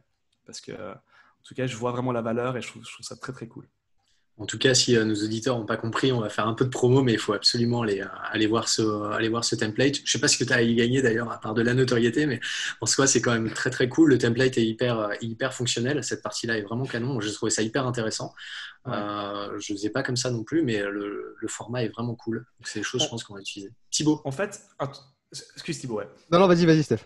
En fait, un truc vraiment qu'il faut comprendre de ce canvas, c'était. Euh, c'est pas une version finale. Euh, pourquoi? Parce que ça a été. Moi, j'avais déjà des premières briques, etc. J'ai bossé franchement comme un fou pendant cette période du Covid pour faire un truc, je pense, qui était bien la sortie. Et puis, Jake, John, Jackie l'ont amené à un autre niveau, euh, euh, voilà, en termes de, qualité. Et puis, mais c'est pas une version finale et définitive. Et puis, l'avantage d'un template, c'est que c'est plus simple à modifier qu'un livre. Mmh. Donc, si je sais ça fait tellement plaisir de voir des gens qui l'utilisent, des gens en plus qui mettent sur les réseaux sociaux, euh, qui, euh, qui, mettent notre nom, notre hashtag, puis qui disent ben voilà, puis qui mettent des screenshots des sprints. Puis j'ai déjà maintenant des premiers retours qui viennent, des, propositions sur l'amélioration de ce mm. template, et ça me fait vraiment hyper plaisir. Donc voilà, voyez ça comme quelque chose qui va évoluer. Euh, je pense sincèrement que c'est une, bonne, très bonne base pour démarrer le 8 mots design sprint d'utiliser ce canvas. Et après, vous pouvez en effet euh, le customiser, l'améliorer. Et puis, s'il y a un truc qui marche pour vous, s'il vous plaît, partagez avec moi et comme ça, on pourra l'implémenter. Alors ma question, elle est justement liée à, ça. C'est vrai qu'au moment où le, où le guide pour le remote il est, il est sorti, tu ouvres l'article et tu dis mais qu'est-ce qu'ils ont changé? Est-ce qu'il y a des nouvelles choses? Est-ce que ça a évolué? Et, euh, et, en fait, c'est vrai que j'étais, quand tu vois que c'est très proche du livre, alors c'était peut-être volontaire, que tu sais quand même que euh, ils ont l'air d'avoir, enfin quand ils expliquent la démarche, ils ont l'air de tout avoir remis à plat, qu'ils sont un peu ouverts et ils étaient prêts peut-être à, modifier les mmh. choses. Et du coup, je me demandais si toi, tu avais un retour à faire. Depuis le temps que la méthode existe, a priori, entre la sortie du livre et le mmh. Canva, qui est la version la plus, la plus à jour, il n'y a pas tant de modifications que ça. J'imagine quand même que les, les, penseurs sont en alerte sur ce qui se passe. Ça veut dire que finalement, cette méthode, pour l'instant, elle ne elle bouge pas. Quoi. Elle, est, elle fonctionne, c'est celle qui fonctionne le mieux ou tu as eu des, mmh. des retours de choses qui ah. Ouais, c'est une super bonne question. Euh, euh, et puis, on a entendu beaucoup de fois hein, la méthode, la, les design sprint, design sprint 2.0, 3.0, 8.0. Enfin, voilà, il y a beaucoup de marketing derrière tout ça. Et puis, euh, moi, vraiment, je suis sincèrement convaincu que ce qu'il y a dans le livre est perfectible. Et puis, je vous dirais, enfin, où, enfin, à mon avis, où, mais c'est perfectible, mais c'est, je pense, la meilleure méthode qui existe. Euh, dans le sens où il y a eu des améliorations qui sont venues par la suite, c'est plutôt enlever des choses ou euh, shortcuter des choses. C'est possible, euh, mais globalement, si tu réfléchis, si tu dis sur 1000 sprints, ceux qui vont le mieux se passer, c'est probablement des 5 jours si tu as la possibilité de faire des 5 jours. Après, il y a plein de choses qui vont faire que tu ne pourras pas mener un 5 jours. Mais vraiment, le 5 jours, de base est un super format. Pourquoi? Parce qu'en fait, c'est pas juste qu'ils ont imaginé un truc un lundi, puis le vendredi, ils ont sorti le livre. C'est qu'en fait, ils ont commencé en 2011 à créer euh, le design sprint, ils l'ont fait des centaines de fois, jusqu'au moment où ils se sont sentis à même de pouvoir publier un livre. Donc en fait, il y a déjà, euh, au moment où ils l'ont sorti, 5 ou 6 ans d'expérience du design sprint à très haut niveau. Euh, et après, maintenant, il y a toute l'expérience de nous autres sprint masters qui sont partis de ça et qui ont, je dirais, amélioré la, enfin, qui ont challengé, qui l'ont fait dans d'autres contextes, etc. Ce qui marche pas dans le livre ou pas très bien et qui doit être euh, probablement euh, réécrit un jour, c'est la partie mapping parce qu'elle est pas bien expliquée. Euh, c'est plutôt qu'elle est pas bien expliquée, mais en fait, elle, elle fonctionne, mais il n'y a pas toutes les clés dans le livre pour t'aider à le faire. Et puis le storyboard, qui est très mal aussi expliqué, qui est un moment un peu intense du sprint où les gens sont un peu perdus et qui mérite d'être plus guidés. Donc en fait, il y a il y a deux, je dirais, améliorations officielles ou semi-officielles qui sont maintenant sur euh, le site du Design Sprint et donc dans le Canvas. C'est le Note Map, euh, l'exercice du Note Map que nous, on avait amené et que Jake a maintenant intégré et qu'il enseigne dans ses workshops. Et puis, c'est le storyboard euh, façon Agent Smart que Jake a aussi intégré au niveau du storyboarding. Et puis, je pourrais ajouter peut-être ce fameux wrap-up qui est dans le Canvas, qui n'est pas dans le livre, mais qui est vraiment intéressant pour terminer le sprint. Puis ça, je dirais que c'est des choses que en tout cas, moi, je me sens très à l'aise de, modifier et je pense que c'est des vraies améliorations du sprint parce que ça va plutôt préciser en fait. Mais c'est plutôt des précisions qu'autre chose. Après, dans tout ce que je vois d'autre, des de sprint en deux jours ou des choses comme ça, le problème, c'est qu'en fait, c'est plutôt enlever des choses euh, ou, ou shortcuter des étapes qui pourtant sont cruciales et importantes. Et je ne sais pas, moi, je vois plutôt une certaine dégradation euh, que de vraies améliorations. Mais des dégradations qui sont plutôt poussées par le contexte et puis le fait que tu dois le vendre, tu dois le mener avec des clients euh, tu ne peux pas vraiment faire ce que tu veux. Moi, ce que je vois, c'est que la plupart des sprint masters vraiment expérimentés, qu'on en fait beaucoup, qui arrivent à les proposer aux clients, ils, font des formats relativement longs de 4 à 5 jours. Alors, je pense qu'on est, je pense qu'on est complètement aligné sur le fait que, et même, même Google euh, communique dans ce sens-là pour dire attention, les sprints trois jours, euh, on parle de sprint euh, sur des équipes qui émettent des sprints qui sont hyper experts sur les sujets, qui se connaissent très Mhm. très bien, qui sont très pointus. Euh, donc effectivement, c'est c'est pas, il y a, il y a, en fait, il y a, il y a deux, il y a deux choses. Il y a le fait de se dire on, on est capable de faire un sprint en moins de, allez, disons, 4 jours, qui va être le minimum acceptable parce que le temps est Mhm. incompressible. À un moment donné, on a besoin de se dire les choses, on a besoin d'avoir le temps de processer. Nos cerveaux ont besoin d'avoir le temps de processer, de digérer la matière, etc. Donc ça, voilà, aujourd'hui, on ne sait pas faire mieux au regard des retours d'expérience que 4 jours minimum. Et puis, il y a le fait d'adapter le, le format. C'est-à-dire, Mhm. je sais qu'avec Thibaut, jusque-là, on a, on a beaucoup discuté sur le fait de se dire tiens, c'est pas tant améliorer le, le, le process que de se dire ok, le process il fonctionne hyper bien, les fondations elles Mhm. sont hyper solides, il faut qu'on on sait qu'il faut passer par, étape, par ces étapes-là. Par contre, la façon d'y parvenir, on- on- on- enfin, moi j'ai essayé en tout cas pas mal de choses. Je sais que Thibaut aussi, tu as essayé plein de trucs dans tes sprints, Euh, Mhm. intégrer des jobs to be done, euh, travailler sur euh, l'impact, des impacts métriques, c'est un peu tu sais, des, des, des outils model canvas, des choses comme ça, ouais. voilà, exactement. Et alors après, tu te rends compte, moi, de, de- de mon expérience, tu te rends compte que tu peux ajouter des choses comme ça. Moi, généralement, c'est des choses que j'aime bien faire travailler avant de réaliser le sprint sur Exact. une phase plus de problème framing, euh, où je vais à la fois travailler un peu le fond sans, sans, trop, euh, sans trop tailler dans la masse, hein. mais on va Mhm. travailler un peu le fond déjà pour comprendre un peu de quoi il s'agit, et puis sentir l'équipe, parce que du coup, ça te permet de réunir aussi l'équipe, de sentir les énergies, tu vois, de voir les personnalités, les individualités, etc. Mais globalement, le process du sprint aujourd'hui, si je regarde la façon dont je, dont je m'y prends, effectivement, j'ai rien de. Enfin, tu vois, à 85-90%, c'est exactement ce qu'il y a dans le bouquin, quoi. C'est ça. En, fait, ben, je reprends ma métaphore du, du blue jean. Euh, oui, peut-être le blue jean, c'est, ça paraît un peu euh, standard. Tu as envie, je sais pas, tu vas inventer des pas dev, des corsaires, quelle horreur, ou des, des de- tu, tu peux faire des trous dans ton blue jean, pourquoi pas, si tu veux le customiser, tu peux, tu peux y rajouter ta patte. Mais en fait, il y a tellement d'autres choses que tu peux faire dans l'expérience, ajouter de la musique, ajouter des jokes, des, enfin, des, choses comme ça pour rendre le- l'expérience euh, unique que tu peux faire sans le dénaturer. Quoi. Moi, j'ai essayé de mettre un, un workshop de Value Proposition Canvas au milieu d'un design sprint. C'était un désastre. Ça a Ouais. cassé le flow. C'était pourri. Quoi. Et en fait, je pense que vraiment, il faut qu'on soit humble dans le sens où, oui, on veut tous amener notre pierre à l'édifice. Mais moi, en tout cas, l'approche que nous, nous, on a pris, c'est de créer de la valeur, je dirais, autour du sprint. On a amené le quarter, maintenant I2D, etc. Donc, c'est plutôt des, des choses qu'on fait autour du sprint. Pour, euh, mais pour moi, le format du sprint, en gros, il a été réglé. C'est-à-dire que ce qu'il y a dans le livre fonctionne, est excellent. Euh, et je pense que c'est un faux débat de, le réinventer euh, en 2020 parce que la plupart des réinventions que je vois, euh, bah, en fait, ils y ont déjà pensé et c'était déjà dans le livre. Hmm. Alors, je vais revenir un petit peu sur le remote, parce qu'évidemment, on, enfin, voilà. Mais déraille. c'est- bien, on déraille, mais c'est bien, on est là pour ça. Gomet, c'est ça, hein, attention, on sait que quand on lance un épisode de Gomet, on n'en a pas pour 10 minutes. Ça, on n'a pas fait beaucoup d'épisodes pour l'instant, mais ça, on le sait. Moi, ce que je voulais te demander, c'était, euh, voilà, sur le remote aussi, euh, quels sont tes conseils pour arriver à dynamiser, justement, stimuler une équipe en remote? Est-ce que tu as des icebreakers ou des, euh, des energizers, qu'on appelle ça, que tu apprécies particulièrement?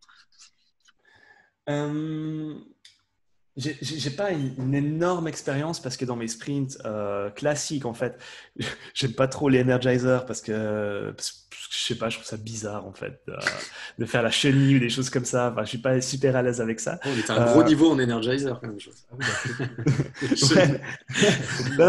non, non, mais j'ai, Avec, avec non, il y a Justin des gens Bridou, ça peut marcher. C'est ça, il y, a, il y a des gens qui le font euh, et, et ça fonctionne. Après, je pense que c'est plutôt euh, garder la- l'attention et, et- et je pense que même sans faire euh, des, euh, voilà, des trucs marrants, mettre des perruques et tout ça, tu arrives à garder l'attention si tu travailles sur un truc intéressant. Puis si tu n'es pas chiant en tant que personne, euh, la façon Ouais. tu présentes et tout ça.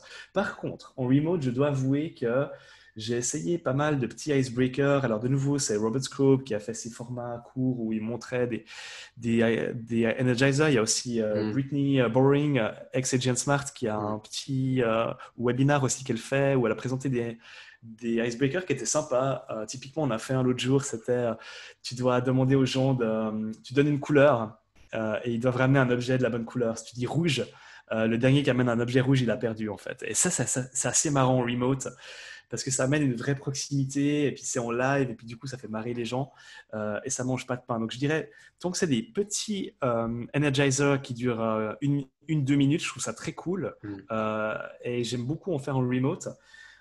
Après, je trouve que ça marche mieux en remote et ça a plus de raison d'être qu'en physique. Il y en a un qui marche bien aussi, c'est dessiner les autres personnes. Mm. Ça, c'est assez cool aussi. Euh. Puis, je crois vraiment le, le fait de faire quelque chose en remote, c'est donner une expérience, puis donner ce sentiment que tu es ensemble. Quoi. Tu vis un truc en live, tu es ensemble. Euh, on est vraiment sur, ce, sur ces questionnements-là et délires-là avec i2D aussi qu'on est en train d'organiser, et puis où on veut que les gens vivent une expérience, même si ça va se faire à distance. Euh, puis je pense que faire un truc en synchro et que les gens se marrent en synchro, c'est important en live. Donc, Et ouais. euh, alors, il y a un- une autre étape, merci beaucoup déjà, et une autre étape euh, qui est le prototypage. Et le prototypage en, en remote versus le présentiel, est-ce que ça change Ouais. beaucoup pour toi? C'est marrant ça. Euh, je dirais le, le lancement du storyboard est beaucoup plus compliqué en remote euh, parce que tu n'es pas à côté euh, pour, Ouais. pour dire bon, t'es gentil Janine, mais voilà comment on tient un crayon, puis je te montre comment dessiner. tu vas wireframer en fait. Ce qu'on apprend vraiment aux personnes dans un workshop physique, c'est difficile de le faire en remote. Donc je dois beaucoup plus euh, faire du step by step. Ouais, je, je vois que tu as le soleil dans les yeux là. ah, Je galère de fou, hein, j'avais pas galères. prévu qu'on. Mais Tu sais quoi, j'ai une longue réponse, alors tu peux les fermer les, euh, fermer les, les volets Je peux pas, ils sont automatiques ici. Ah non C'est un Ah enfer, bas du X. C'est un enfer. Euh, Ouais. Euh, Je vais continuer de me décaler. Vas-y, je t'en prie.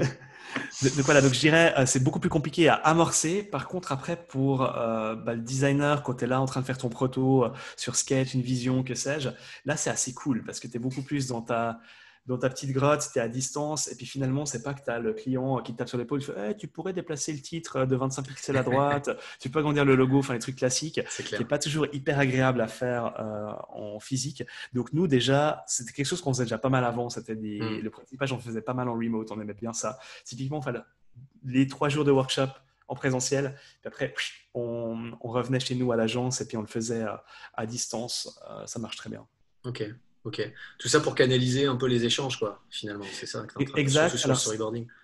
Ouais, ça nous a quand même poussé à changer d'outil. hein. Euh, avant, on travaillait beaucoup sur Sketch euh, et maintenant, on est que sur Figma en remote. Parce que Figma a quand même cet avantage que tu retrouves dans Mural ou Miro de voir, de Mm. pouvoir travailler à plusieurs en synchro sur le même canvas. Euh, tu vois les, le pointeur souris des autres personnes et tout ça. Et c'est vraiment, ça amène vraiment ce sentiment de proximité que tu n'as pas dans Sketch parce que tout est fait euh, de manière pas très euh, synchrone. Et du coup, alors, remote ou présentiel, ton cœur te dit quoi, in fine, après toutes ces expériences? Ça, Tu nous as déjà donné des éléments de réponse, mais j'ai envie Ouais. de t'entendre un peu synthétiser tout ça. C'est- vraiment difficile à, à dire. Je pense que euh, dès que je peux refaire du présentiel, j'en ferai, Ouais. clairement. Euh, juste pour le plaisir d'être avec euh, d'autres personnes.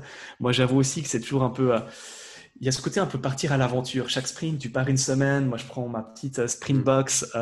je, vais, je vais dormir euh, quatre jours à l'hôtel ou quatre ou cinq jours à l'hôtel. Dans un, je découvre une nouvelle ville. Enfin, tu vois, il y a tout un truc un peu Ouais, un- que j'aime bien. Ce côté un petit peu, on va dire rockstar, mais ce côté un peu, tu es en tournée, quoi, un peu gig, et tu vas faire un gig quelque part. Puis là, j'ai passé trois, j'ai passé trois mois là ici dans ma petite pièce chez moi, euh, à naviguer entre mon balcon et, la chambre d'amis là. Et j'avoue que j'ai quand même envie de, revoir des gens et de faire du physique. Euh, donc je pense que ça va vraiment être un mix des deux. D'un côté, je me dis, euh, ça c'est vraiment, on a ajouté beaucoup de cordes à notre arc pendant cette période-là. Euh, des choses qu'on n'aurait pas pu faire, des clients qu'on n'aurait pas pu toucher, typiquement les ONG. Euh, on est capable maintenant d'assurer des sprints en full remote à l'autre bout de la terre. Je me suis aussi euh, mis en paix avec l'anglais. Euh, je parle beaucoup anglais à la maison, etc. Mais entre le faire en parler en anglais et puis mener des sprints en anglais, enregistrer des vidéos, des podcasts en anglais, c'est un, autre deal. Et puis, je pense que je suis devenu de plus en plus confortable avec ça. En tout cas, OK avec, un, avec, avec avoir un accent franchouillard. et, et voilà, je pense que c'était une vraie progression euh, et je suis très content qu'on puisse faire les deux. Et j'espère aller faire 50-50 quoi, dans le futur. Ou même des sprints hybrides. Je, commence à explorer ça. Je ne sais pas où ça va nous mener, mais faire deux, trois jours présentiel, le reste en remote, je ne sais pas. Bah, manifestement, tu avais l'air de. Enfin, c'est ce que tu dis. Si déjà tu, fais du prototypage en remote, euh, et par ailleurs, les tests utilisateurs aussi peuvent être très facilement faits en remote, euh, on est déjà sur un, sur un 60-40. Quoi. C'est ça, et puis aussi, euh, moi j'ai un petit garçon chez moi, il a, il a Ouais. 3 ans, j'ai pas envie non plus de partir des semaines entières. Donc je pense faire 2-3 jours chez le client, c'est c'est génial. Après, tu as des fois envie quand même de te déconnecter, de rentrer, de souffler. Euh, et puis, ouais, je vois bien un certain, un vrai équilibre quoi, avec ça. Et vous? Euh, ben moi, je suis dans le même cas que toi. J'ai deux enfants en bas âge. Et euh, Mhm. du coup, c'est vrai que partir. Mais je ressens la même chose que toi, globalement. C'est-à-dire que, en en fait, ce qui est génial avec euh, le sprint aussi, c'est que ça a réenchanté le travail. Ouais. Aussi, hein, il n'y a pas que, tu vois, il n'y a pas que la notion du résultat. Le résultat, il est absolument incroyable, mais il est incroyable parce que ça a réenchanté le travail, ça redonne envie de bosser aussi d'une certaine façon. Tu sais qu'à chaque fois, tu sais, quand tu dis ouais, c'est un côté un peu rockstar, mais qu'est-ce qui est mémorable en fait pour les rockstars? C'est de monter sur scène, c'est d'avoir euh, d'avoir ce concert, etc. Et ça rend à chaque fois c'est mémorable. Il n'y a pas un sprint dont je me souviens pas, par exemple. Enfin, y a- enfin, non mais Bingo. mais C'est- tu vois, c'est c'est- quelque chose que je dis plein de fois et, et, voilà, je suis très content de t'entendre dire ça. Euh, tu sais, on, on dit toujours, on se souvient que des premières fois. Euh, la première fois que tu sautes du plongeoir des 5 mètres, la première fois que tu embrasses une fille, la première Mm. fois que tu voiture, tu sais, on- en fait, dans ta, dans ta vie, tu oublies tout. euh, tout se mélange, la routine euh, disparaît et tu te souviens que des premières fois. Et ben en fait, les sprints, c'est que des premières fois. C'est ça qui est incroyable, autant pour l'équipe que pour le sprint master. Et c'est ça en fait l'intérêt du sprint, c'est que tu crées des moments très forts en fait. Et je pense que c'est comme toi, je me souviens de tous mes sprints quoi. Euh, c'est vraiment, c'est une nouvelle façon de travailler et c'est ça que j'ai envie de défendre. C'est pour ça que faire un workshop de deux heures où tu codes des post-it, c'est cool, mais tu vas pas t'en souvenir. Mm, ben, là, on, on propose des vraiment des expériences mémorables, les gens s'en souviennent quoi. Mais en avant-vente, moi, il y a un truc que je mets en avant constamment. J'ai toujours une slide où je montre une photo d'une sprint team en train de boire des bières. Et euh, alors, tu, tu vois, dans la culture, euh, tu pourrais dire Attends, c'est pas du tout sérieux. Tu vois, tu parlais d'une Ouais. SS2I. Moi, je bosse dans une SS2I. Tu vois, c'est pas Mhm. sérieux. Mais en fait, c'est sérieux. Pourquoi? Parce que la slide, elle vit pas toute seule. En fait, euh, moi, je l'ai su après, mais c'est quand tu présentes la slide, tu es animé par ça. Tu vois, ça se voit Oui. quand on parle, tu es animé par ce que tu fais. On voit Mhm. que, tu vois, derrière, il y a, il y a- y a de l'expertise, il y a de l'historique, il y a de la. Et en fait, les gens, c'est des êtres humains. Ils ont envie de revivre ça aussi. Tu vois, les Exactement. réunions chiantes, ils en ont pas envie. Ouais. Ils n'ont jamais envie. Personne n'a envie d'une réunion chiante. Tout le monde a envie de, tu vois, de, re- de ressentir euh, des Mhm. choses, d'avoir de l'émotion, d'avoir des choses à raconter. Et le sprint te permet ça aussi. Exactement. Tu sais, nous, on fait une masterclass, euh, on a fait une masterclass en remote, etc. Puis des gens ont posé la question, pourquoi tu fais pas des vidéos euh, comme Agent Smart ou, ou d'autres? Mm. Et puis, pour moi, c'est important de faire des, des choses en vrai, en live, euh, parce que je crois beaucoup dans ce format live où les gens te posent une question, tu racontes une anecdote, un truc qui n'était pas scripté, pas prévu, tu vois. Je pense qu'on est dans une époque où les gens, ils veulent regarder des YouTubers dans leur chambre euh, ou sur Insta euh, sans filtre, quoi. Et puis, ce côté vidéo trop, trop réfléchi, trop poliché, en fait, moi, j'y crois de moins en moins, en fait. Et, et je pense que on est là pour partager des choses. Et puis, euh, tu me dis, vous êtes capable de mener des sprints dans une SS2I, mais c'est génial, quoi. Moi, si à 5 ans, j'avais pu faire des sprints dans ma SS2I, je serais resté et j'aurais fait des sprints. Euh, seulement, euh, le- c'était pas possible à l'époque. Mm. Donc, je suis très heureux d'entendre que c'est possible. Thibaut, je sens que tu as un truc à dire. Euh, non, non, bah je, je rebondis, je, sais pas, je pensais à plein de choses en vous écoutant parler. C'est sûr que, non, notamment sur les. Ce qui est agréable, je trouve, quand tu animes les sprints, c'est ta, ta première fois. Enfin, moi, je l'ai fait bah, avec Quentin, donc la première fois que tu fais ton sprint en tant que participant. Donc, tu as plein de souvenirs qui sont. euh, voilà, en plus, celui-là était riche en émotions. Et, Mhm. les... et après, je trouve que tu te rappelles des premières fois des autres. C'est genre un participant qui découvre la méthode, qui vient de dire un truc que personne d'autre t'avait dit jusque-là. Ouais. Et même toi, ça te fait switcher sur euh, ta façon d'animer, ta façon de faire les choses. Et c'est ça qui est génial dans ce, dans ce truc, c'est qu'en fait, tu, à un moment, tu pourrais dire, mais les gens qui animent des sprints euh, une fois par, une fois par mois, qui en font des, des dizaines par, dans l'année, est-ce qu'ils s'ennuient pas au bout d'un moment? Mais en fait, non, j'ai l'impression que tu as toujours un truc qui fait que ça va être différent, que ça va être intéressant, Mais que tu vas toujours. revoir les choses différemment, et c'est ça qui est hyper agréable quand tu le pratiques. En fait, la méthode est la même. Euh, la méthode est la même, mais c'est tout ce qu'il y a autour qui est intéressant. C'est les personnes, c'est les thématiques, c'est les émotions. C'est vraiment, c'est comme un, un groupe de musique. Ils ont la même setlist. Ils font leur tournée avec les mêmes chansons, mais c'est chaque soir différent. Mm. Ils vont s'en souvenir, les mecs. À part peut-être Oasis, les mecs, ça va, ils ont fait tellement de concerts qu'ils se souviennent plus, mais, mais euh, et, et autres. Mais, mais globalement, euh, c'est des expériences. Moi, j'ai eu euh, anecdote, mais j'ai eu une décideuse qui a pleuré pendant un sprint mais pleurer de joie. hein.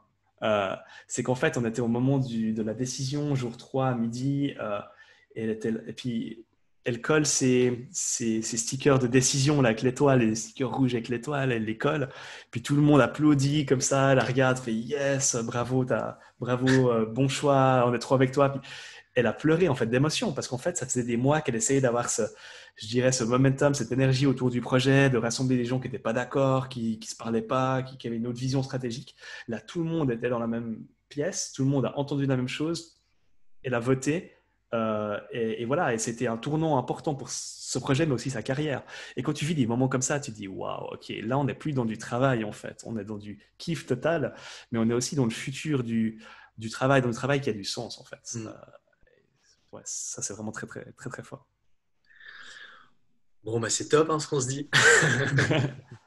non, non, c'est cool, c'est super. Ça fait vraiment plaisir d'avoir, euh, d'avoir ce niveau de discussion euh, avec toi, Steph, sur, sur ce, ce type de sujet je pense qu'on peut peut-être en venir, euh, à part si Thibaut, tu voyais d'autres choses euh, sur lesquelles on, sur lesquelles on, dont on n'a pas bah, parlé sur le remote ou quoi Non, non, c'est, euh, je, pense qu'on a, dit plein de choses et il y a encore pas mal de questions. Yes. moi, je voulais savoir, je voulais parler d'I Today. Ça te va, Thibaut, si on switch sur I Today là tout de suite? Allez, I Today. Allez, ok. Alors, du coup, I Today, tu vas nous, tu vas nous en parler. Je pense que J'allais partir sur une espèce de présentation, mais là, voilà, on a le, on a le concepteur de l'événement, donc tu vas nous le présenter toi-même. Je pense que tu as l'habitude de le faire. Il faut que j'arrive à le pitcher. Exactement. Allez, go, tu as une minute. en gros, on s'est posé la question euh, comment est-ce qu'on pouvait amener plus de valeur au niveau du design sprint, et puis on s'est on est assez vite arrivé à la conclusion qu'on ne voulait pas changer le format, on voulait pas changer le sprint. Euh, pour nous, c'était une question réglée, mais en fait, un truc qui n'était pas réglé, c'était que les grandes entreprises euh, l'intègrent dans leur processus, s'y intéressent, euh, et puis que, que vraiment ça soit massivement adopté. Euh, je pense qu'on est toujours dans quelque chose de niche, une niche de jeunes cool, de cool kids, euh, UX designers, product designers qui ont tout compris. Euh, mais c'est un peu comme l'agile. l'agile, en fait, ça a 10, 15 ans, 15 ans, je ne sais pas. Et c'est que ces dernières années où on commence à avoir des vrais teams agiles, une vraie maturité sur l'agile. Hmm. Bah, le sprint, pour moi, on est encore à l'adolescence du sprint. On n'est pas encore à l'âge de maturité. Et si on veut atteindre cette maturité, il faut que les bonnes personnes en fait s'y intéressent, euh, qui sont euh, les euh, business leaders, les innovation managers, les, vraiment les gens qui sont, qui sont voilà, en plein de l'innovation. Et du coup, on a vu une super opportunité d'organiser une, une, conférence, au départ qui devait être physique, on en reparlera, une conférence qui réunirait, je dirais, les certains des leaders les plus brillants dans le domaine de l'innovation, qui ne sont pas des gens qui font voler des fusées ou des drones, ou l'innovation technologique, mais qui sont des gens qui font avancer euh, les esprits, le mindset, les méthodologies, les processus. Et puis, ben, Jake était évidemment une des personnes toutes trouvées, bien sûr, avec le design sprint, mais aussi euh, en Suisse, il y a des stars qui sont Alex Osterwalder et Yves Pigner, mmh. qui sont en fait suisses, ils viennent de Lausanne. Hein les deux, et ils ont inventé le business model Canvas, qui est cette matrice d'affaires que tout le monde a déjà vu, tous les start les étudiants euh, en commerce utilisent. Euh, leur, euh, leur, livre a été vendu des millions de fois, etc. Et en fait, donc Yves et Alex sortaient un nouveau livre qui s'appelle Invincible Company. on savait que le livre allait sortir en, en 2020 et on s'est dit, mais c'est tellement le bon le bon point de connexion avec le sprint parce qu'il parle d'innovation, il parle de la résilience des entreprises, de l'envie d'innover, l'envie d'entreprendre, l'envie d'explorer. Et puis euh, le sprint, c'est juste un super outil pour ça. Donc euh, le cœur de l'événement, c'était de les réunir eux avec Jake. Et puis après, euh, bah, depuis là, ça, a grandi euh, à des proportions qu'on ne pensait pas atteindre. Mais c'est-à-dire que maintenant, on a greffé d'autres speakers parce que le Covid est, venu, est venu en embuscade, ce qui a changé quand même beaucoup de choses. On a été à deux doigts de se dire est-ce qu'on annule, est-ce qu'on annule l'événement, est-ce qu'on ne peut pas le faire parce que c'est un événement physique. Puis nous, on a vu ça comme un super challenge, une vraie opportunité de faire un événement virtuel. Euh, parce que finalement, on parle à une communauté mondiale, ça intéresse des gens dans le monde entier, ça serait en anglais, enfin, ça sera en anglais. Et puis, du coup, on s'est dit, bah, bon, on y va sur un événement virtuel. Et puis, du coup, on a euh, Alex et Yves, bien sûr, on a Jake, mais on a aussi des gens euh, comme Surya Vanka, qui est l'ex-directeur de l'UX de Microsoft. On a la Head of Culture de Mural, euh, qui sera là aussi. Euh, on a, euh, a On a Jonas Van Lanten, qui est une star en Suisse de tout ce qui est relacratie et agilité, donc des pratiques de management. Il a une agence qui s'appelle LEAP où tout le monde connaît le salaire de tout le monde. il travaille vraiment sur une organisation flat, etc voilà, on a, on a, des gens, ah oui, euh, on, a Rama Diallo qui, qui vient de Dakar, je l'ai rencontré à Dakar au Sénégal en menant un sprint là-bas. Mm. C'est une, des grandes figures de la technologie euh, en Afrique. il lance des applications euh, comme Orange Money qui sont utilisés par des millions de personnes en Afrique, euh, qui révolutionnent le, paiement. En fait, à Dakar, tu peux acheter euh, des melons dans la rue en payant par, par ces applications-là, alors que moi, ensuite, je vais au restaurant et on me dit qu'ils ne prennent pas la carte de crédit. Donc, en fait, il se passe des choses dans le monde et là, grâce à cet événement, on a accès à des gens juste incroyables parce que c'est en remote qui ont été d'accord de jouer le jeu. Donc, c'est les 20 et 21, j'ai fait plus qu'une minute. Hein. C'est les 20 et 21 août prochains. Euh, ça, c'est l'événement virtuel, le, le i2D Summit. Et puis, on, aura la partie physique, les masterclass de Jake et de Yves et Alex qui seront en février 2021 parce qu'on y croit. Et ça sera physiquement à Lausanne en Suisse, euh, sur le campus de l'EPFL, qui est l'Université Polytechnique euh, de Lausanne. Tu peux nous parler euh, un petit peu du format, parce que vous avez quand même pas mal innové. Il y a beaucoup de choses autour du, format remote. Euh, ça vous a fait, euh, j'imagine, beaucoup réfléchir sur le sujet. tu peux nous en parler un petit peu J'ai vu que vous aviez prévu pas mal de choses, pas mal de formats différents. Vous avez prévu un Slack. Vous mettez en avant aussi les personnes qui, qui s'inscrivent sur, sur le site internet. Donc ça, c'est canon. Ou vous allez privilégier le networking de différentes façons. Est-ce que tu peux nous dire un petit peu ce, qu'on peut, à ce à quoi on peut s'attendre à travers le remote et ce qu'offre finalement le remote, qui n'aurait peut-être pas été possible, pas complètement sur du présentiel En fait, le, problème du présentiel quand tu vas à un événement, c'est que tu as des opportunités incroyables, il y a des personnes incroyables qui sont réunies, mais tu sais pas qui vient à l'avance en fait. Donc en fait, tu arrives et puis peut-être c'est un peu de chance, tu vas discuter avec trois personnes intéressantes vraiment par hasard parce que tu étais dans la queue euh, à, midi et puis euh, tu te fais introduire par quelqu'un, mais finalement tu vas faire un événement, tu vas payer 700 euros sur l'événement et puis tu vas, tu vas rencontrer peut-être une, deux personnes intéressantes parce que tu sais pas en fait qui va venir et tu peux pas garder le lien avec ces personnes-là. Euh, et on s'est dit, en fait, je pense le vrai, la vraie innovation d'I2D, c'est qu'en fait, c'est un événement aux deux volets.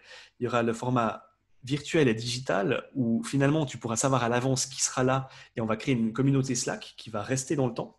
Et puis après, tu pourras, euh, pour les gens qui veulent venir en Suisse, typiquement euh, en février prochain, ben, tu pourras rencontrer les gens pour de vrai, mais en sachant qui vient. C'est ça qui est très très cool. Donc tu peux limite préparer ton I2D en limite prenant tes rendez-vous avec les personnes que tu veux rencontrer en février, à six mois d'écart. Puis là, je pense qu'il y a quelque chose de novateur avec ça.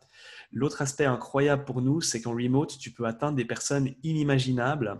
Euh, tu peux finalement les atteindre parce qu'ils sont OK euh, de répondre à tes questions ou de, de, faire une présentation en remote parce qu'ils n'ont pas besoin de prendre un avion, de faire 16 heures d'avion, etc. Mm. Euh, et puis voilà, on a un aussi, Cathy Swindler, qui est incroyable, qui a, qui a fait un tour à, à, Milan, à Interaction, euh, qu'on voulait absolument avoir. Marc Gruber, qui est le vice-président de l'innovation à l'EPFL, etc.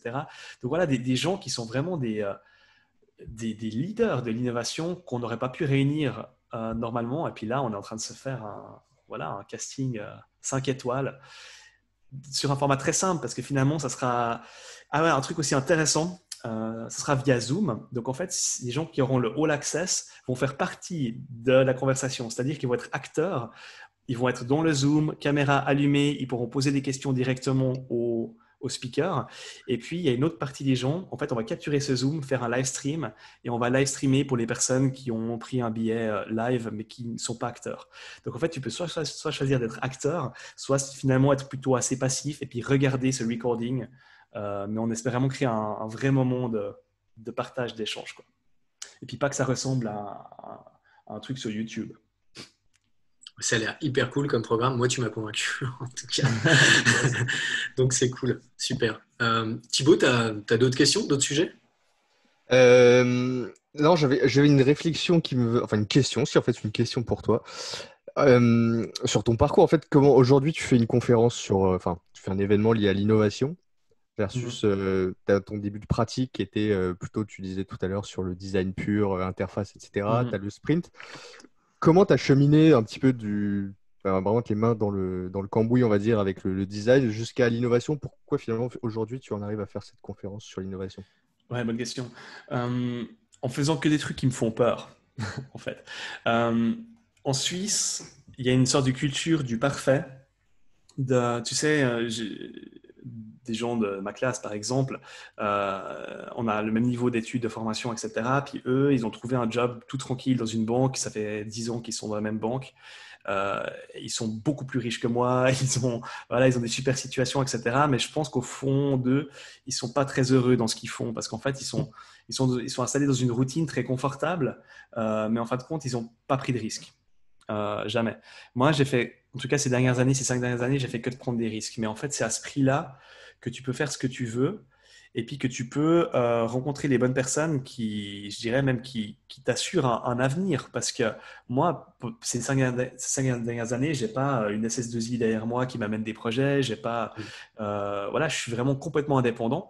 Euh, et on va de sprint en sprint et il faut qu'on soit, qu'on se crée les bonnes connexions, le bon réseau, etc. Donc c'est un peu une sorte de, c'est important pour nous de de connaître les bonnes personnes. Et puis, moi, c'est ce que j'aime faire en fait. Je pense que j'ai designé, j'en parlais avant, mais assez d'apps, de chatbots ou de sites web ou de trucs. Enfin, c'est bon, des sites WordPress, des sites Wix, j'en ai fait, des, enfin n'importe quoi, euh, des applications. Tout. Ça m'intéresse plus vraiment euh, de, de designer des produits jusqu'à la fin. C'est pour ça qu'il y a cinq ans, je me suis dit, je vais me concentrer que sur le sprint, qui est le début des produits, qui est cette étincelle qui font démarrer un produit. Après, la partie exécution, il y a des gens qui le font beaucoup, beaucoup mieux que moi. Maintenant, je suis arrivé à un moment du donné du sprint où peut-être j'accepte que mon rôle, c'est peut-être plus de mener des sprints toutes les deux semaines ou tous les mois, mais peut-être que mon énergie, euh, je peux en fait l'utiliser pour essayer de faire mieux connaître cette méthodologie, parce que je vois maintenant des gens euh, qui sont prêts à pouvoir mener des sprints importants de manière euh, euh, régulière, ben, des gens bien sûr comme vous, mais aussi nos fellows. Euh, on a des gens qui sont un peu de notre communauté, qu'on a formés, qui sont excellents. Et puis à l'heure actuelle, ben, il faut que ces gens puissent mener des sprints quoi, de manière répétée. Et pour ça, ça passe par l'éducation.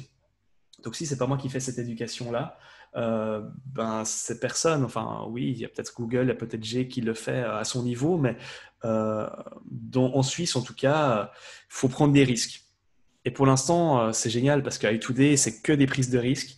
C'est super casse-gueule.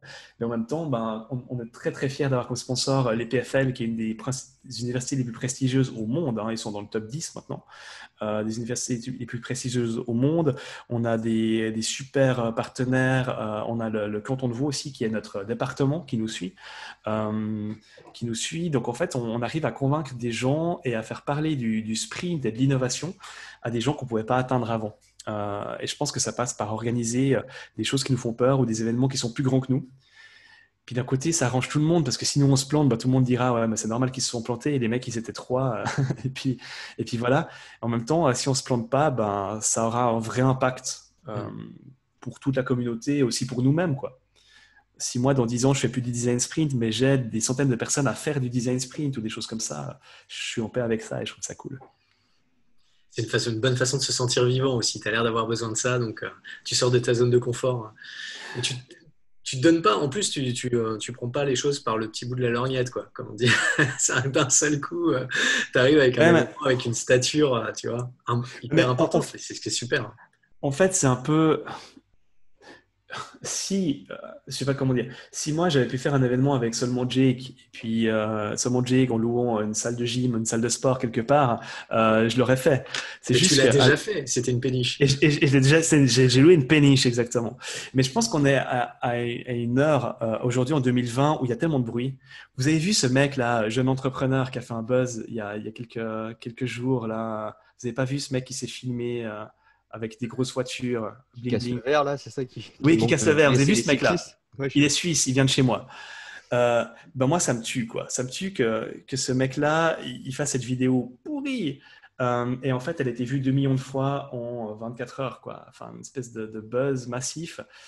Euh, alors, bien sûr, pour se moquer de lui, mais au final, ça m'embête que en fait, il y a tellement de bruit, il y a tellement de choses qui se passent, il y a tellement de lassitude euh, que si tu veux intéresser les gens, il faut faire quelque chose d'important ou, pour éveiller leur attention. Et puis, si tu fais quelque chose de trop sage ou de trop, euh, de trop lisse ou de trop parfait, ben, tu n'intéresses plus les gens, en fait.